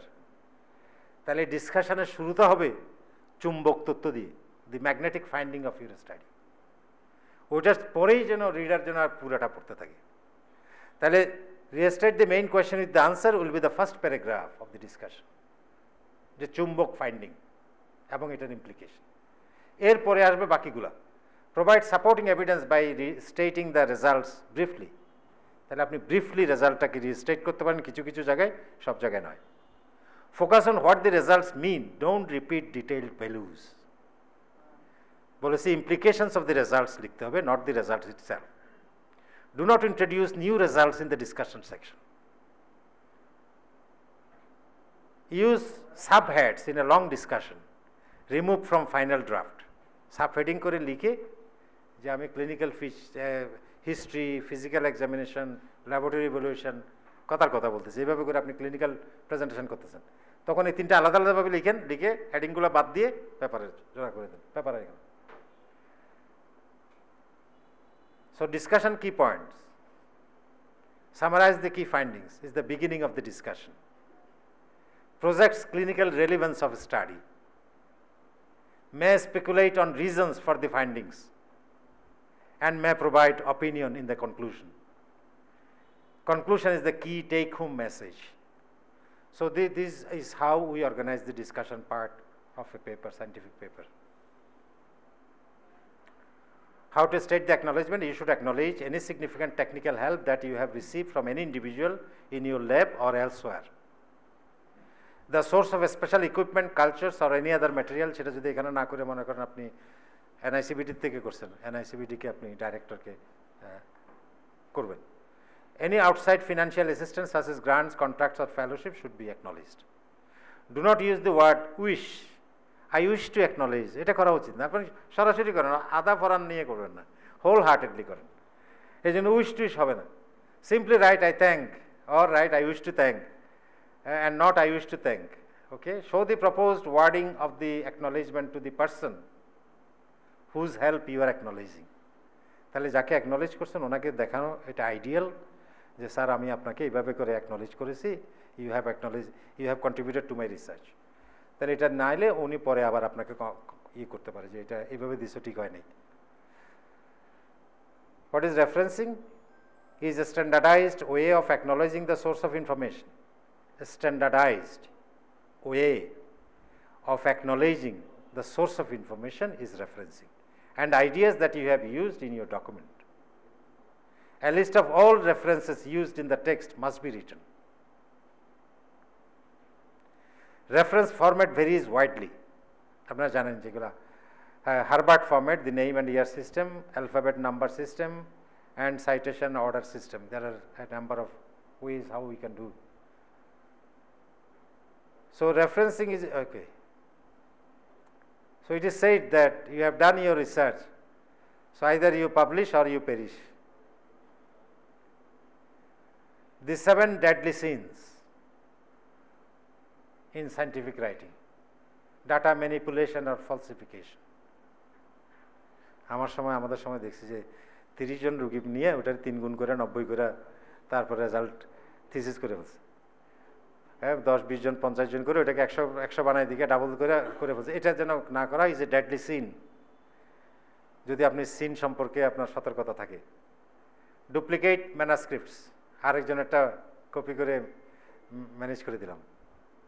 Redundant publication আরেকজনে ফেলে দিয়েছে, ওইটাকে নিয়ে আমি আবার একটা করে করলাম। Plagiarism you know author conflicts of interest হ্যাঁ ওষুধ কোম্পানির টাকা নিয়ে ওর ওষুধটা খুব ভালো বলে দিলাম। Conflict of interest animal use concerns যদি আপনি অ্যানিমেল ইউজ করে থাকেন অ্যান্ড হিউম্যান ইউজ কনসার্ন তাহলে এই সময় জন্য বলে যে safety of the patient will prevail over the interest of the science and interest of the society তাহলে সায়েন্স অ্যান্ড সোসাইটির চেয়ে ইন্ডিভিজুয়াল পেশেন্ট যে আমার স্টাডি করতেছে ওটা more important The secret of good writing is rewriting. Secret of rewriting is rethinking. Celebrate when work is published. হ্যাঁ বিরিয়ানি খাওয়াই দিবেন কয়েকজনকে, বন্ধুদেরকে মিলে, যে আমার পেপারটা পাবলিশ আপনাকে খুশি হইতে হবে আমি বলি যে, আমার স্টুডেন্টদের বলি, আমি ডায়াগনোজ করে তোমার খুশি হইতে হবে আমার এখনও খুশি লাগে এই পাই গেছে ডায়াগনোজ করে ফেলছে you need to feel happy by your uh, whatever achievements. So, who benefits? It's you, the writer, is for your career, future research, and most importantly, is clarified thinking in your head. That is the most important benefit. Other researchers will benefit, funders of the work will benefit, maybe the patients will be benefited. So there are many benefits with your. So a must for all writers, অনেকগুলা এরকম একদম টেল books আছে যেখানে খুব ভালোভাবে বিভিন্নভাবে এটা করা হয়েছে পুরো বই লিখে ফেলেছে আমি এক ঘণ্টা যেগুলো বললাম এর চেয়ে এটার জন্য কয়েকশো পৃষ্ঠার বই আছে so how to write and illustrated scientific paper হ্যাঁ সাকসেসফুল সাইন্টিফিক রাইটিং এরকম আরও অনেকগুলো বইয়ের আমরা আমি যেহেতু এটা দিয়ে দেবো আপনাদেরকে যে বললাম যে জ্ঞান কখনো গোপনীয় হতে পারে না। আমি আহ, পড়াবো কেউ জানবে না এটা কাউকে শেয়ার করব না এটা হবে না। You you'll you can get if you want from research to manuscript guide to scientific writing হ্যাঁ? এরকম so summary steps in writing a paper. Assess your work decide what when and where to publish. প্রত্যেকটা জার্নালের নিজস্ব একটা instruction for authors থাকে, ওইটা দেখে ওটার মতো করেই আপনাকে অ্যাসেস করতে obtain and read the instructions to authors of the journal chosen decide who the authors will be they must have significant contribution আমাদের সিস্টেম তো, আমাদের তো পিএসসিতে লাগবে ডিপিসিতে লাগবে, এই জন্য একটা নাম ঢুকায় দাও না ভাই তোমার ওখানে আমাকে। হ্যাঁ তাইলেই হবে। এইভাবেই কিন্তু আমাদের শত শত পেপার আছে, এরকম লোকও দেখেছি আমি। যে ও নিজে একটাও কিছু করে নাই, কিন্তু একশোর উপরে পাবলিকেশন আছে। draft a working title and abstract decide on the basic form of the paper collect the material under the major headings chosen collect the materials design tables including their titles footnotes design or select illustrations and write uh, titles and legends for them write for permission to reproduce any previously published tables যদি আপনি previous এটা permission লাগবে। Without permission you can't reproduce illustration and other material that will be used write a topic outline and perhaps a sentence outline write type or dictate a preliminary draft of the text quality to give it unity check completeness of the references assembled put the manuscript or typescript away for a few days বলছে প্রথমবার আপনি লিখে ওইটাকে ড্রয়ারের মধ্যে ঢুকে ফেলে রাখবেন। দুই সপ্তাহ মাথার মধ্যে চিন্তাই আনবেন না এটা। দুই সপ্তাহ পরে আবার এটা বাইর করবেন। বাইর করে এমনভাবে পেপারটা দেখবেন যেন আপনি রিভিউয়ার। আপনি একটা জার্নালের রিভিউয়ার। তখন দেখবেন যে আপনি অনেক কিছু ওখানে চেঞ্জ করে ফেলছেন। একাই জন্য because rewriting is the basis of good writing reexamine the structure of the paper check the illustrations and tables reread the references you cite হ্যাঁ retype the paper correct the grammar and polish the style type several copies of the corrected paper, which is second draft. Eh, Ask for criticism from, from co-authors and friends. এটাও পাওয়া যায় না। মানে truth হচ্ছে আমরা আমি এরকম অনেকগুলো স্টাডি করেছি মনে করেন আট দশজন করে ইনভেস্টিগেটর ছিল। কিন্তু লেখার পরে যখন পাঠাইলাম কেউ একজন পড়েও দেখার মতো সময় নেই। যে কোথায় আমাকে সাপোর্ট করবে বা কমিটমেন্ট করবে? তো পরে জন্য আমি সবগুলোতে ফয়েজ ভাইকে রাখি কারণ উনি পড়ে। উনিও আমাকে রাখে, কারণ আমিও পড়ি। কিন্তু বাকি যারা আছে, ওরা বড় বড় হেড কিন্তু আমি পেপারটা লিখে পড়াইতে পারলাম না যে, আপনি চিন্তা করেন। This is the reality on the ground তাহলে এই জন্য আমরা সবাই পরিবর্তিত হয়ে যাব। যে আপনার কলিগ যখন আপনাকে একটা দিবে, দয়া করে একটু পড়ে ওকে একটা ফিডব্যাক দিবেন। নাইলে আপনি শুধু নিজে নিজে রিসার্চার হলে হবে না। আরেকজনকে সহযোগিতাও করতে হবে। নাহলে আপনাকেও কেউ সহযোগিতা করবে না। Make any necessary alterations, compose a new title and abstract suitable for information retrieval.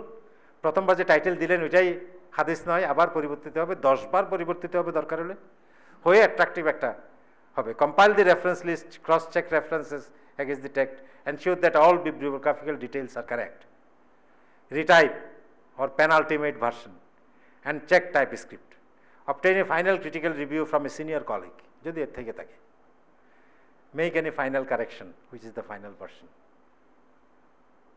Then write a cover letter to the editor, enclosing copies of letters giving you permission to reproduce any previously published material or to cite unpublished work. Check that all parts of the paper are present and post as many copies as are specified to the editor. If the editor returns the paper, revise it as necessary, send it elsewhere, or abandon it altogether. Correct the proof. So I'm coming towards the end. There is no way to get experience except through experience. তাহলে আমাদেরকে শুরু করতে হবে। আমি সবাইকে request করব আপনাদের thesis ডেজার্টেশন যেটা আছে দয়া করে এটা পাবলিশ করেন। এটা অনেক ভালো পেপার যেগুলো বর্তমানে পাবলিশ হচ্ছে, অখাদ্য, কুখাদ্য পাবলিশ হচ্ছে। এর চেয়ে অনেক বেটার হবে বিকজ এটাতে আপনি অনেক বেশি ইফর্ট দিয়েছেন আপনি থিসিসটাতে ডেজার্টেশনটাতে make it publish first as a test case Then you develop confidence to write more so good luck and do not ever give up. Many thanks for your attention. Thank you very much. So, uh,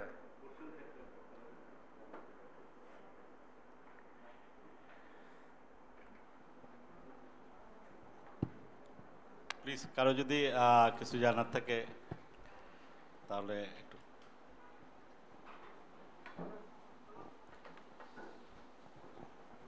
ধন্যবাদ স্যারকে। অনেক সুন্দর একটা বক্তব্য দেওয়ার জন্য। Sir আমাদের একটা কোয়ারি আছে রিগার্ডিং টাইটেল সম্পর্কে স্যার। আমরা যখন কাজ শুরু করি তখন তো একটা টাইটেল হয়তো আমরা প্রিলিমিনারি একটা সেট করি এটা নিয়ে আবার ইথিক্যাল কমিটি থেকেও আমরা একটা পারমিশন নিই। কিন্তু পরবর্তীতে আমরা যে আবার যদি চেঞ্জ করি সেই ক্ষেত্রে ইথিক্যাল কোনো বাধ্যবাধকতা ইয়া আছে কিনা? Clean no. আর In more than 90% of the cases, beginning title is changed during publication. একটা- it, it is made more appropriate. জি স্যার কারণ প্রথম টাইটেলটা যেটা নিয়েছেন। সেটা হচ্ছে আপনাকে যে ফান্ড দিছে ওর টাইটেল আপনি নিতে বাধ্য হয়েছেন। জি স্যার। কিন্তু ওইটা তো আপনি পাবলিকেশনের সময় দিবেন না। আপনি এমন কিছু চুম্বক তথ্য পেয়ে গেছেন ওগুলো সব সন্নিবেশিত করে ইন্ডেক্সিং করার জন্য ভালোভাবে আপনি আবার করবেন। কিন্তু কিন্তু ওই ethical No- no ethical bar. ওই ওই পাবলিকেশন ওইখানে তো ওদের একটা টাইটেল দিয়ে পারমিশন দেওয়া আছে এটা তখন আমি ওই কাগজটাই সাবমিট করব। ওই কাগজটা সাবমিট করবেন। ওইটার এগেনস্টে অ্যানাদার স্যার একটু যদি আপনি আর একটু ডিটেইল ডিসকাশন সম্পর্কে একটু বলেন আর কি স্যার কীভাবে ডিসকাশনটা ইয়ে হওয়া উচিত আর একটু ডিটেইল যদি এটা তো কিছুটা আমি বলতে চেষ্টা করেছি, বাকিটা হচ্ছে মনে করেন যে যেসব জিনিসগুলা আপনার ইম্পর্ট্যান্ট ফাইন্ডিংস ওই ইম্পর্ট্যান্ট ফাইন্ডিংয়ের ফেভারে অ্যাগেস্টে লিটারেচারে কি ফাইন্ডিং আছে, সেটা সহ প্রত্যেকটা চুম্বক ইনফরমেশন নিয়ে একটা একটা প্যারাগ্রাফ করবেন। প্রথম প্যারাগ্রাফটা তো চুম্বক তথ্য হবে, যে আপনি কি প্রশ্ন রিসার্চ কোয়েশ্চেন নিয়ে শুরু করেছিলেন, কি অ্যান্সার পেয়েছেন? এটা হচ্ছে ফার্স্ট প্যারাগ্রাফ এরপর হচ্ছে যেসব জিনিসগুলো আপনি ফাইন্ডিংগুলো হাইলাইট করতে চান, যে আমারটা ইন্ডিয়ার সাথে মিলে নাই আমেরিকার সাথে মিলছে বা বার্মার সাথে মিলছে, এই জিনিসগুলোর লেখাটা হচ্ছে ডিসকাশন তাহলে ডিসকাশনটা পয়েন্টেড হবে গিয়ে একটা কনক্লুশন ড্র হবে।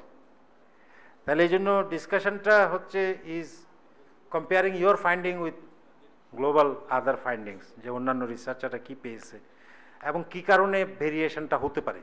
এরকম একটা প্লজিবল এক্সপ্লেনেশন আপনাকে দিতে হবে। ওই জিনিসগুলো হচ্ছে ডিসকাশনের পার্ট ইন ব্রিফ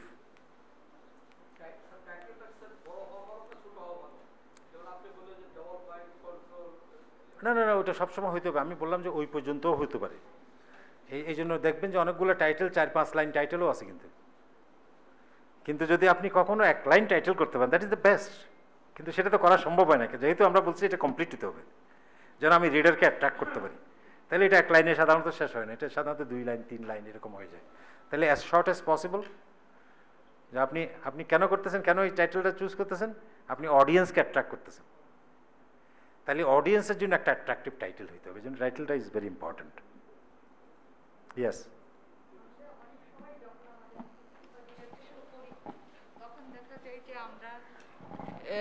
literature রিভিউয়ে মানে অনেক এক্সাম্পল দিয়ে দিই, যে ওখানে স্টাডি হয়েছে এটা পাওয়া গেছে এটা পাওয়া যায়নি। তারপরে আমরা যখন সাইন্টিফিক পেপারটা লিখব তো সব ইয়েগুলি কি মেনশন করতে হবে বা। ওখান থেকে আমরা আমার পছন্দ মতো কিছু দিতে পারি কিনা? আমার রেজাল্টের ফেভারে এবং এগেনস্টে সবগুলি দিতে হবে নট নেসেসারি না না লিটারেচার রিভিউ তো আপনার রেজাল্ট না। লিটারেচার রিভিউ তো অন্যদের রেজাল্ট অন্যদের রেজাল্ট কিন্তু আমরা যখন ডিসকাশনে আমরা ডিসকাশনে তো অবশ্যই অন্যের সাথে কম্পেয়ার করতে আমরা কম্পেয়ার করি বাট যখন সাইন্টিফিক পেপার লিখি তখন কি আমার ডিজার্টেশনে আমি যতগুলো মানে লিখেছি সবগুলি সাইন্টিফিক পেপারে দিব নাকি আমি ওখান না থেকে? এত বড় সাইন্টিফিক পাওয়াতে কেউ পাবলিশ করবে না। আমি আপনাকে এটাকে কম্প্যাক্ট করে আনতে ইয়েস থ্যাংক ইউ এবং as minimum words as possible as specific focus as possible ঠিক আছে থ্যাংক ইউ স্যার ইয়েস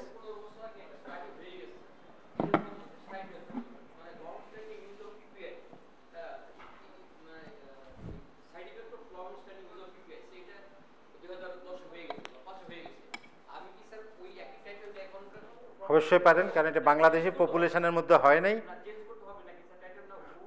না না না, হুবহু দিতে পারেন, আমি শুধু বাংলাদেশ করে দেবেন।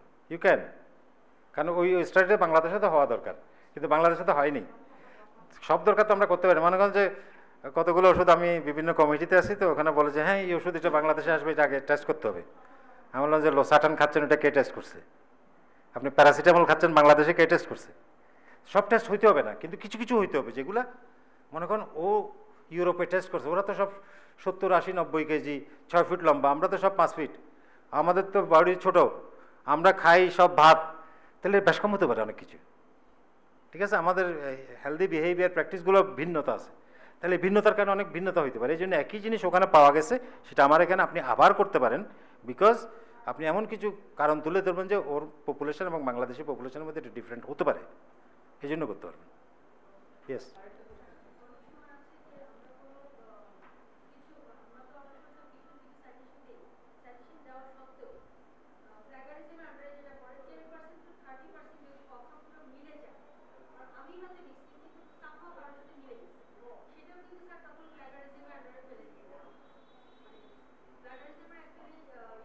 এটা এটা তো রেয়ার ব্যাপার। আপনি একটা লিখলেন আর আমি লিখলাম, সব মিলে গেল, এটা কেমন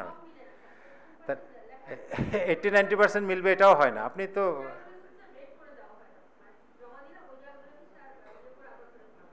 একদম ওয়ার্ড ফর ওয়ার্ড মিলে গেলে, তো এটা প্লেগিয়ারিজম হয়ে গেল। তা আপনি একটু চেঞ্জ করে লিখেন। নাকি কথাগুলোই লিখবেন হয়তো। আপনি কাছাকাছি পরিবর্তন করে লিখেন, তাইলে আর প্লেগিয়ারিজম হলো না। আপনি যদি পুরাটা কোট করে দেন, কারণ আমাদের আরেকটা দন্যতা হচ্ছে লেখার। সেটা হচ্ছে ইংরেজির দন্যতা যেমন আমি আমি আমার ক্লাস টেন পর্যন্ত হচ্ছে একদম অজপাড়া গায়ে লেখাপড়া করে। ওখানে আমরা এবিসিডি শুরু করছি ক্লাস টু, থ্রি থেকে। হ্যাঁ তাইলে আমি কি ইংরেজি বলব? আমি তো ইংরেজির স্টক নেই। তারপরেও পড়তে পড়তে আপনাকে ওভারকাম করতে হবে। এই জন্য ল্যাঙ্গুয়েজ মাস্টারিং আমাদের জন্য ইম্পর্ট্যান্ট এটা খুব সুবিধা হয়েছে। ফেসবুক টেসবুক আসাতে সোশ্যাল মিডিয়ার সাথে অনেক বেশি ইংরেজি শেখার সুযোগ হচ্ছে। এবং আপনি যদি এভাবে ওই যে রিডিং উইদাউট থিঙ্কিং না করেন হ্যাঁ রিডিং উইথ থিঙ্কিং যদি করেন তাহলে তো হবে না। বলে যে সবচেয়ে ভালো লেখার মন্ত্র কি? মন্ত্র হচ্ছে সবচেয়ে বেশি পড়া। আপনি যত বেশি পড়বেন, অত ভালো লিখতে পারবেন। তাহলে যতগুলা রাইটার আছে লিজেন্ডারি রাইটার আছে, ওরা গিয়ে দেখেন যাদের লাইব্রেরি কত বড়। ওরা কি পরিমাণ লেখাপড়া করছে বিফোর দ্য রাইট তাহলে আমাদেরকেও তাই করতে হবে। অনেক বেশি পড়লে আপনি লিখতে পারবেন।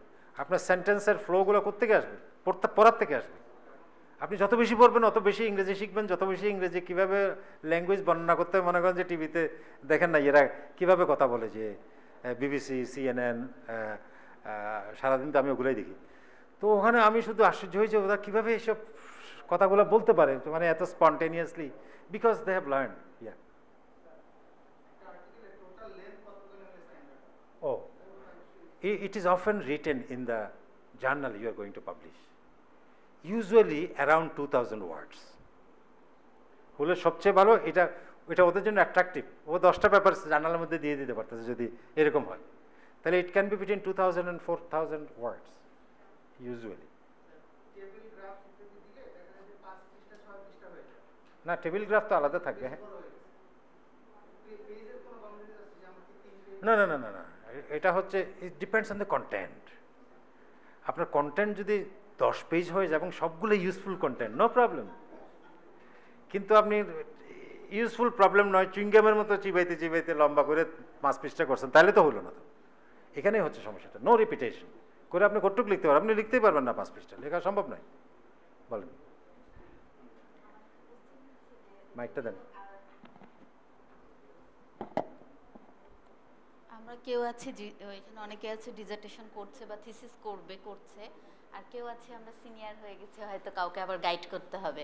তা আমার কোশ্চিন হচ্ছে যে, আমরা যখন যারা জুনিয়র তারা যখন ডিজার্টেশনের জন্য একটা টপিক হচ্ছে সিলেকশনে যাই আসলে স্ট্যান্ডার্ডটা কি? যে যে এখন এফসিপিএস কোর্সে আছে টপিক সিলেক্ট করবে, সেই করবে, নাকি তার গাইড তাকে টপিক সিলেক্ট করে দিবে? মানে রিসোর্স ধরে মানে আমি যে প্রবলেমে পড়েছিলাম, ধরেন আমাকে বলছিল, তুমি কি লিখবা? আমি বললাম ব্রেস্ট নিয়ে লিখবা। তো কি লিখবা? আমি কিছু জেনেটিক ডাটা টাটা নিয়ে আমি এটা করব। ওই মুহূর্তে কিন্তু আমার ওই আইডিয়াটা ছিল না যে জেনেটিক ইয়ার পিয়ার এগুলো নিয়ে ওই সময় আমার কতটুকু মানে ওইখানে আমার ফ্যাসিলিটিস আছে। তো আমার গাইড দেখে বলছিল, তুমি এমন একটা জিনিস করতে যাচ্ছ, এটা তো আসলে এই মুহূর্তে তোমার এই কোর্সের মধ্যে তুমি কাভার করতে পারবে না। তো ওই সময় ইয়াং ব্রেনে দেখা যাচ্ছে আমরা অনেক কিছু নিয়ে চিন্তা করি। তা আসলে এই জিনিসটা কে করবে? মানে স্টুডেন্ট নিজে করবে না টিচাররা তাকে বলবে যে তুমি এগুলো এগুলোর মধ্যে করো। এটা কিন্তু জুনিয়রদের একটা খুব ঝামেলা হয়ে যায়। এটা একটু জানতে চাচ্ছিলাম। ধরেন আমার কাছে কেউ আসলে আমি কি করব? এখন আমি কি তাকে তার মতো হেল্প করব নাকি আমি তাকে চাপাই দিব. So I could make another presentation, how to choose a research topic. That is an another part of the. কে করবে? চয়েসটা কে general আমি বলছি আপনাকে সেটা হচ্ছে মনে করেন আমার দেশেরগুলো তো আর কোনো মানে ফলো ফলোয়িং এক্সাম্পল নয় সারা দুনিয়া জুড়ে কি হচ্ছে। জি এটাই। তাহলে most of the places it is the guide who determines the topic কেন? কারণ গাইডের একটা সাইডে ইম্পর্টেন্স আছে ইন্টারেস্ট আছে। সে চাইবে যে ওর সাথে যারা হবে, ও এই টপিকের উপর কাজ করুক। তাহলে ওর থিমটা ও প্রোগ্রেস করতে পারল। এই জন্য দেখবেন যে সব প্রফেসররা বিদেশে, আমাদের এখান থেকে যারা যায়, ওরা কিন্তু ওদের একজনের আন্ডারে গিয়ে কাজ করে এবং এরকম একটা কাজ করে। যেমন মনে করেন আমাদের সময় প্রফেসর ফয়েজ প্রফেসর কাশিম গন্ধকার ওরা পিএইচডি করেছে। পিএইচডি কিন্তু ওই প্রফেসরের ইন্টারেস্ট যেটা ওর একটা টপিকের সাইড টপিকের মধ্যে যেমন ফয়েজ ভাইকে effect of snake venom on myotoxicity এটা ল্যাবরেটরি কাজ। তাহলে ওইরকম একটা কাজ করতে কেন করতে দিছে? কারণ ওই যে ওর গাইড সে স্নেক বাইট নিয়ে কাজ করে। তাহলে এইভাবে মোস্ট অফ দি টাইম এটা কিন্তু আরও পদ্ধতি আছে। মনে করেন আপনি তো এটা বললেন যে ডিজার্টেশনের জন্য। আপনি নিজেও চুজ করতে পারেন। বলছে কোত্থেকে আমি টপিক কোথায় পাবো? এক নম্বর হচ্ছে টপিক পাবেন আপনি আপনার প্র্যাকটিস থেকে। যে আপনি প্র্যাকটিস করতেছেন দেখলেন যে একটা জিনিসের সমাধান নেই। আরে এই রুগীটার কি বলে যে ডায়াবেটিস আছে ওর কিডনি ডিজিজ আছে ওর ইস্কিমিক হার্ট ডিজিজ আছে ওর প্রিভিয়াস হিস্ট্রি অফ স্ট্রোক আছে ওর জন্য কোন anti hypertensive will be best এইভাবে করে চুজ করে আপনি নিজে চুজ করতে পারেন। আপনি আইডিয়াটা আপনার কলিগদের সাথে গল্প করতেছেন টি রুমে ওখান থেকে নিয়ে আসতে পারেন। আপনি যে লেখাপড়া করতেছেন বই পড়তেছেন ওখান থেকে আপনি টপিক চুজ করতে পারেন। আপনি সেমিনার সিম্পোজিয়া অ্যাটেন্ড করতেছেন ওখান থেকে আপনি টপিক চুজ করতে পারেন অফ ইউর ইন্টারেস্ট কিন্তু এটা আপনার গাইডেরও ইন্টারেস্ট চাইতে হবে। কিন্তু আমার নাইলে তো কথা- হবে না। আমার কথা হচ্ছে এফসিপিএস এ বা যারা এমএসএ করছে থিসিস তারা কিন্তু পার্ট ওয়ান পাস করল বা phase A B A pass করল। করে যখন তারা শুরু করছে, তাদের নলেজটা কিন্তু ওই সেক্টরে তখনও কিন্তু লিমিটেড তারা অনেক কিছু জানে না। তারা এটা কীভাবে বুঝবে যে এই জিনিসগুলো এখনও নাই? আমি এটা বলতে চাচ্ছি, ওদের জন্য ডিফিকাল্ট হয়ে যায় চুজ করা। এই যে কিছুক্ষণ আগে বলল না, পনেরো বছর আগে একটা ডাটা হয়েছে, আমি কি ওটা করতে পারি কি না তা আমি মানে আমি, আপনার কথা আমি যেটা বুঝলাম যে প্রফেসরের একটা থিঙ্কিং থাকবে যে আমি এই সেক্টরে কাজ করব এবং তার আন্ডারে যারা আছে, তাদেরকে তারা ইনসিস্ট করবে। ব্যাপারটা কি এরকমই? আইডিয়ালি উচিত আইডিয়ালি হওয়া উচিত আমার কিন্তু দেশে আমার support ধারে পেয়ে উঠি না। Yes আমি বলি আমার জুনিয়র ফার্স্ট পার্ট করছে তুমি যাও টপিক নিয়ে আসো। স্যার আমি একটু অ্যাড করব কিনা বুঝতে পারে না যে কি করে নিয়ে আসবে। আহ, স্যার তো সবচেয়ে জ্ঞানী মানুষ। তারপর আমি একটু অ্যাড করি। অ্যাকচুয়ালি এই যে থিসিস থিসিসটা পরীক্ষাটা কিন্তু গাইডের হয় নট স্টুডেন্টদের খেয়াল রাখবেন এই জিনিসটা। থিসিস যখন করে তখন হয়তো আমরা বলি যে তুমি পাঁচটা তুমি এই সেক্টরে পাঁচটা টাইটেল ঠিক করে নিয়ে আসো এখান থেকে, তখন আমরা একটা চুজ করে দিই। তখন আমরা এই যে বলি যে পাঁচটা টাইটেল আমরা চুজ করে দিই। এখন স্যার যেটা এক্স্যাক্টলি আমরা কিন্তু এটাই করি যে গাইড কিন্তু তখন ফলো করে দেয়। যে তুমি, আমি যে কাজটা করি, যাতে এটা আমার ইন্টারেস্টটা যেমন আমি স্যার যেমন আমি লেজার করি। আমার তিনজন স্টুডেন্টকে আমি লেজার দিয়ে বিভিন্ন তিনটা টপিকস দিয়ে দিচ্ছি যা- কারণ আমার এতে এটা ইন্টারেস্ট আছে এবং তাকে ওইটা নিয়ে ওরিয়েন্টেড করে দিচ্ছি। যার ফলে আপনি যেটা করবেন স্যার, যেটা বলছে, আমরাও যেটা করে আসছি যে গাইড ইউজুয়ালি নিজে ইন্টারেস্টটার উপরে সে শো করে। কিন্তু পরীক্ষাটা কিন্তু দেখবেন থিসিস পরীক্ষাটা, ছাত্র পরীক্ষা থিসিস সবসময় নিচ্ছে না যেমন গাইড বসে থাকে কিন্তু। যে কোনো ডিফিকাল্টিসে কিন্তু গাইড আনসার দেওয়ার কথা। যদি আমাদের অনেক সময় এগুলো হয়ে ওঠে না এই জন্য গাইডের ইন্টারেস্টটা বেশি শো করে এটাতে। তাই না স্যার? এটাই। এক্স্যাক্টলি এই জন্য আমাদের দেশের মিলাইতে গেলে তো আপনি মিলাইতে পারবেন না। কারণ আমার আমার গাইডদের তো কোনো ইন্টারেস্ট নেই। তার মধ্যে থেকে ওনাকে গাইড হতে আমি তখন কিন্তু তখন কি করবেন আপনি বলেন? উনি উনি নিজেই তো কিছু লেখাপড়া করে নাই। উনি নিজেই রিসার্চ কীভাবে করতে হয় এটা সঠিকভাবে জানে না। তাহলে ও কীভাবে গাইড করবে? এই জন্য আমার কাছে যারা থিসিস ইয়েগুলো আসে তো রিভিউর জন্য আসে তখন আমি ওদেরকে একটা বিরাট এক্সারসাইজের মধ্যে ফেলাই দিই। যে তোমাকে এটা অ্যাপ্রোপ্রিয়েট করে আনতে হবে, কারণ আজকে আমি চলে গেলে আর দশ বছর পর তোমাকে যখন পাশ করে তুমি আমার জায়গায় এসে বসবা। তা তুমি যদি কিছু না জেনে একটা থিসিস লিখে ফেলো, এটা তো হয় না। থিসিস মানে মানে গল্প হচ্ছে, বলে যে, এই যে সঞ্জু, ও তো কি বলে যে ফিশারের উপর থিসিস করছে অ্যানাল ফিশারের উপর। তার মানে হচ্ছে, এমন কিছু নেই সে জানে না। তাহলে একটা থিসিস ডিজার্টেশন লিখতেছেন মানে ও এমন হতে হবে যে, এমন কিছু নেই যেটা সে জানে না। তাহলে আমি এরকম অল্প কিছুদিন আগে একজন পয়জনিংয়ের উপর একটা থিসিস সে করে নিয়ে আসছে, সব ডাটা টাটা সহ। তখন আমি বললাম যে, তুমি যে এগুলো করছ, তুমি তো এটা টক্সিড্রম হিসাবে ক্লাসিফাই করা উচিত ছিল। তুমি কি জানো টক্সিড্রম কি? সে আকাশ থেকে পড়ছে শুনেই নেই। তাহলে থিসিস করে ফেলছে, সে টক্সিড্রম শুনে, তাই এটা কোনো টক্সিড হইতে পারে না সে। তাহলে কেন এটা হয়েছে it was the guide responsible তো এই জন্য আমি কোনো দিন একটা থিসিসও রিজেক্ট করি নেই। আমি কারেকশন করাইছি ওর দুই মাস লাগুক, তিন মাস লাগুক, পরীক্ষা একটা চলে গেছে, এটা হয়েছে। কারণ আমি জানি যে এটা শুধু ওর দোষ নয়, ওর গাইডের কারণে ও করতে পারে ওর কিন্তু করার আগ্রহ ছিল। ওকে কোনো ধরনের সহযোগিতা করে নেই। কোনোদিন ওটা পড়ে দেখে না যে কী লিখছে। ওর যে অ্যাকনোলেজমেন্ট লিখলো গাইডকে লিখে কী লিখছে, ওইটাও পড়ে দেখে না ওখানেও ভুল আছে। তাহলে এই এই, এইরকম এটা আমরা হয়ে গেছি বিভিন্ন কারণে। আমরা আস্তে আস্তে ইম্প্রুভ করতেছি, আরও ইমপ্রুভ করব। এই যে আপনারা এখন, এতক্ষণ ধরে বসে রয়েছেন সকাল থেকে। এটা কি এমনি মনে করেন? আপনার মোটিভেশন না থাকলে আপনাকে বসায় রাখা সম্ভব হতো আপনাকে যদি আজকে দুই হাজার টাকা দিতাম আপনি বসে থাকতেন? থাকতেন না। আপনার ইন্টারেস্ট আছে বলে আপনি থাকছেন। এই জিনিসটাই আমাদের দরকার। যে আমরা প্রোগ্রেসিভলি আমি লার্ন করব একটা পর্যায়ে গিয়ে আমি ভালো ভালো লিখব। ওকে এটাই মানে আমার পার্ট ওয়ান পাস করার পর আমি ব্রেস্ট নিয়ে কি করব এটাই বুঝতাম না। আজকে যদি দেন আমি দশটা টপিক বের করে দিতে পারব কাজের দিস ইজ দ্য লাস্ট এটাই হচ্ছে স্যার তো ওই জুনিয়র অবস্থা আসলে পারা যায় না। না ওদেরকে শিখাইতে হবে যে এখন ও পারে না মানে এটা আমার দোষ। ও পারে না ওর দোষ নয় এটা আমার দোষ আমি ওকে পারি সম্পর্কে। আমি হয়তো একটা আর্টিকেল থেকে কয়েকটা একটা ইনফরমেশন নিলাম আমার আর্টিকেলে ও এখন ওটার ওই আর্টিকেলটার রেফারেন্স দেবো নাকি ওখানে আবার আরেকটা ক্রস আরেকটা রেফারেন্স আছে ওটা নিবো? এই জিনিসটা স্যার একটু ক্লিয়ার ক্রস রেফারেন্স দেওয়া যাবে না আপনি যে আর্টিকেলটা পড়েছেন শুধু সেটা দিতে হবে। সেটা আচ্ছা আচ্ছা। হ্যাঁ এই জন্য আমি ওই যে বললাম যে আমি যে ধরি তার মধ্যে একটা হচ্ছে তুমি এই ব্যাপারটা নিয়ে আসো। আমি জানি যে এটা আনা সম্ভব নয় ওর পক্ষে অথচ সে রেফারেন্স দিয়ে দিছে। কী করছে? অ্যাবস্ট্রাক্টের থেকে কিছু ইনফরমেশন নিছে আর রেফারেন্স ওখান থেকে পুরোটা তুলে দিয়ে দিছে। তাহলে এটা এটা- এটা করা যাবে না। এটা এটা is one of the sins যে আপনি না পড়ে ওকে রেফার করে স্যার ওটা যদি আমি পাই সার্চ করে তাহলে হ্যাঁ অবশ্যই দিবেন। সার্চ করে পাবো কেন দিবেন না? আপনি পড়েছেন আপনি আপনি দিবেন। জি ক্লিয়ার করব যে স্যার আমরা যেন ইন্ট্রোডাকশনে সাপোজ আমরা কোনো একটা আর্টিকেলের কোনো একটা সেন্টেন্স আমরা অনুভূত দিচ্ছি আমি সাইটেশন সো এই সেন্টেন্সটা আমি আমার আর্টিকেলে আবার ব্যবহার করতে চাই তো সাইটেশন কোনটা হবে যে ওই যে আমার স্যার উপরে যে নাম্বার আপনি যেখান থেকে পড়েছেন যে পেপার থেকে ওইটাই সাইটেশন ওইটাই সাইটেশন মনে করেন ওই পেপারটা লিখছে যে ওইটা মানে সুপার স্ক্রিপ্ট দিয়ে টু লেখা আছে মানে আরেকটার থেকে সে লিখছে। আপনি কিন্তু আরেকটারটা লিখবেন না আপনি লিখবেন এইটা কারণ আপনি এটা পড়েছেন। Okay thank you very much thank you আমরা শেষ পর্যায়ে আছি। আসলে এত ব্যস্ততার মাঝে স্যার তো অনেক ব্যস্ত তারপরও আমরা, আমি যখন স্যারকে বললাম, স্যার, আপনাকে নিতে হবে। স্যার একবারের জন্য না করেন বলছে, ওয়েল, আমি নিব। এবং কালকে যতবারই স্যারকে ফোন করছি ততবার ইনশাল্লাহ আসব। আমি তো একটু টেনশানে ছিলাম, কারণ সবাইকে ফোন, স্যার যদি না আসে। এবং আমরা খুব হ্যাপি আমরা স্বল্প পরিসরে, অল্প অবস্থায় আমরা জাস্ট একটু ফ্লেভার দেওয়ার জন্য আসলে রিসার্চের এই কয়েকটা টপিকস তুলে ধরছি। অ্যাকচুয়ালি এটা দিয়ে আসলে রিসার্চ মেথোডোলজি সায়েন্টিফিক পেপার লেখা রিসার্চ সম্বন্ধে জানা কমপ্লিটলি ইম্পসিবল যদিও আমরা যতই পড়ব রিসার্চ মানে এলো ভুলে যাও, আমি আগে বলছি। আজকে এখান থেকে বের হন এবং এই যে মোজাম্মেল স্যার ক্লাসে সবাই বলতেছিল, স্যার, মাথা তো ঘুরে গেছে। রিসার্চের মাথা ঘুরে গেছে মানে আপনি এটার ভিতরে ঢুকে গেছেন, এই জন্য আপনার মাথা ঘুরেছে। যদি না ঢুকতেন তাহলে মাথা ঘুরতো না।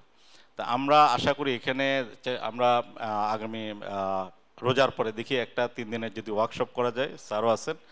আমরা এই ওয়ার্কশপটা আমি ছাত্র সিডাক মেডিকেলে ছিলেন, আমি আগেও এক্সাম্পল দিচ্ছি আমি প্রতি তিন মাস পর পর যেহেতু রিসার্চ এগুলো নিয়ে আমি প্রতি তিন মাস পর পর আমরা তিন দিনের ওয়ার্কশপ করতাম এবং পার্টিসিপেটরি এবং উইথ রেজিস্ট্রেশন যাতে এখান থেকে যারা আসবে ইন্টারেস্ট নিয়ে আসে। তো সুতরাং সবাইকে ইনভলভ করে কেউ আসলো না, ওই ধরনের যাতে না হয়। তো আশা করি ঈদের পরে আমরা আবারও একটা সেশন আমরা করব। তো আজকে এখানে আমাদের যারা স্পিকার ছিলেন মোজাম্মেল স্যার রিদওয়ান স্যার এবং professor S M Ashraf sir. আমি অনলাইনে মাধ্যমে স্যারদেরকে অনেক অনেক ধন্যবাদ এবং কৃতজ্ঞতা। সোসাইটি অফ সার্জনস থেকে অনেক কৃতজ্ঞতা। ডিজি স্যার বলছিলেন উনি ফোন আবার ফোনে কথা বলবেন, কিন্তু আমি অনেক চেষ্টা করছি এখন। উনি মনে হয় বলল যে ফ্লাইটে থাকলে তো আর বলতে পারবেন না, মনে হয় ফ্লাইটে কথা বলতে পারেনি স্যার সবাইকে ধন্যবাদ এবং কৃতজ্ঞতা জানিয়েছেন। আমি এখন আমরা স্যারকে একটু সামান্য, যেহেতু স্যার ফাল্গুন মাস, একটু ফুলের শুভেচ্ছা দিব স্যার। আমি ফুল বাকেট টানার জন্য অনুরোধ করছি।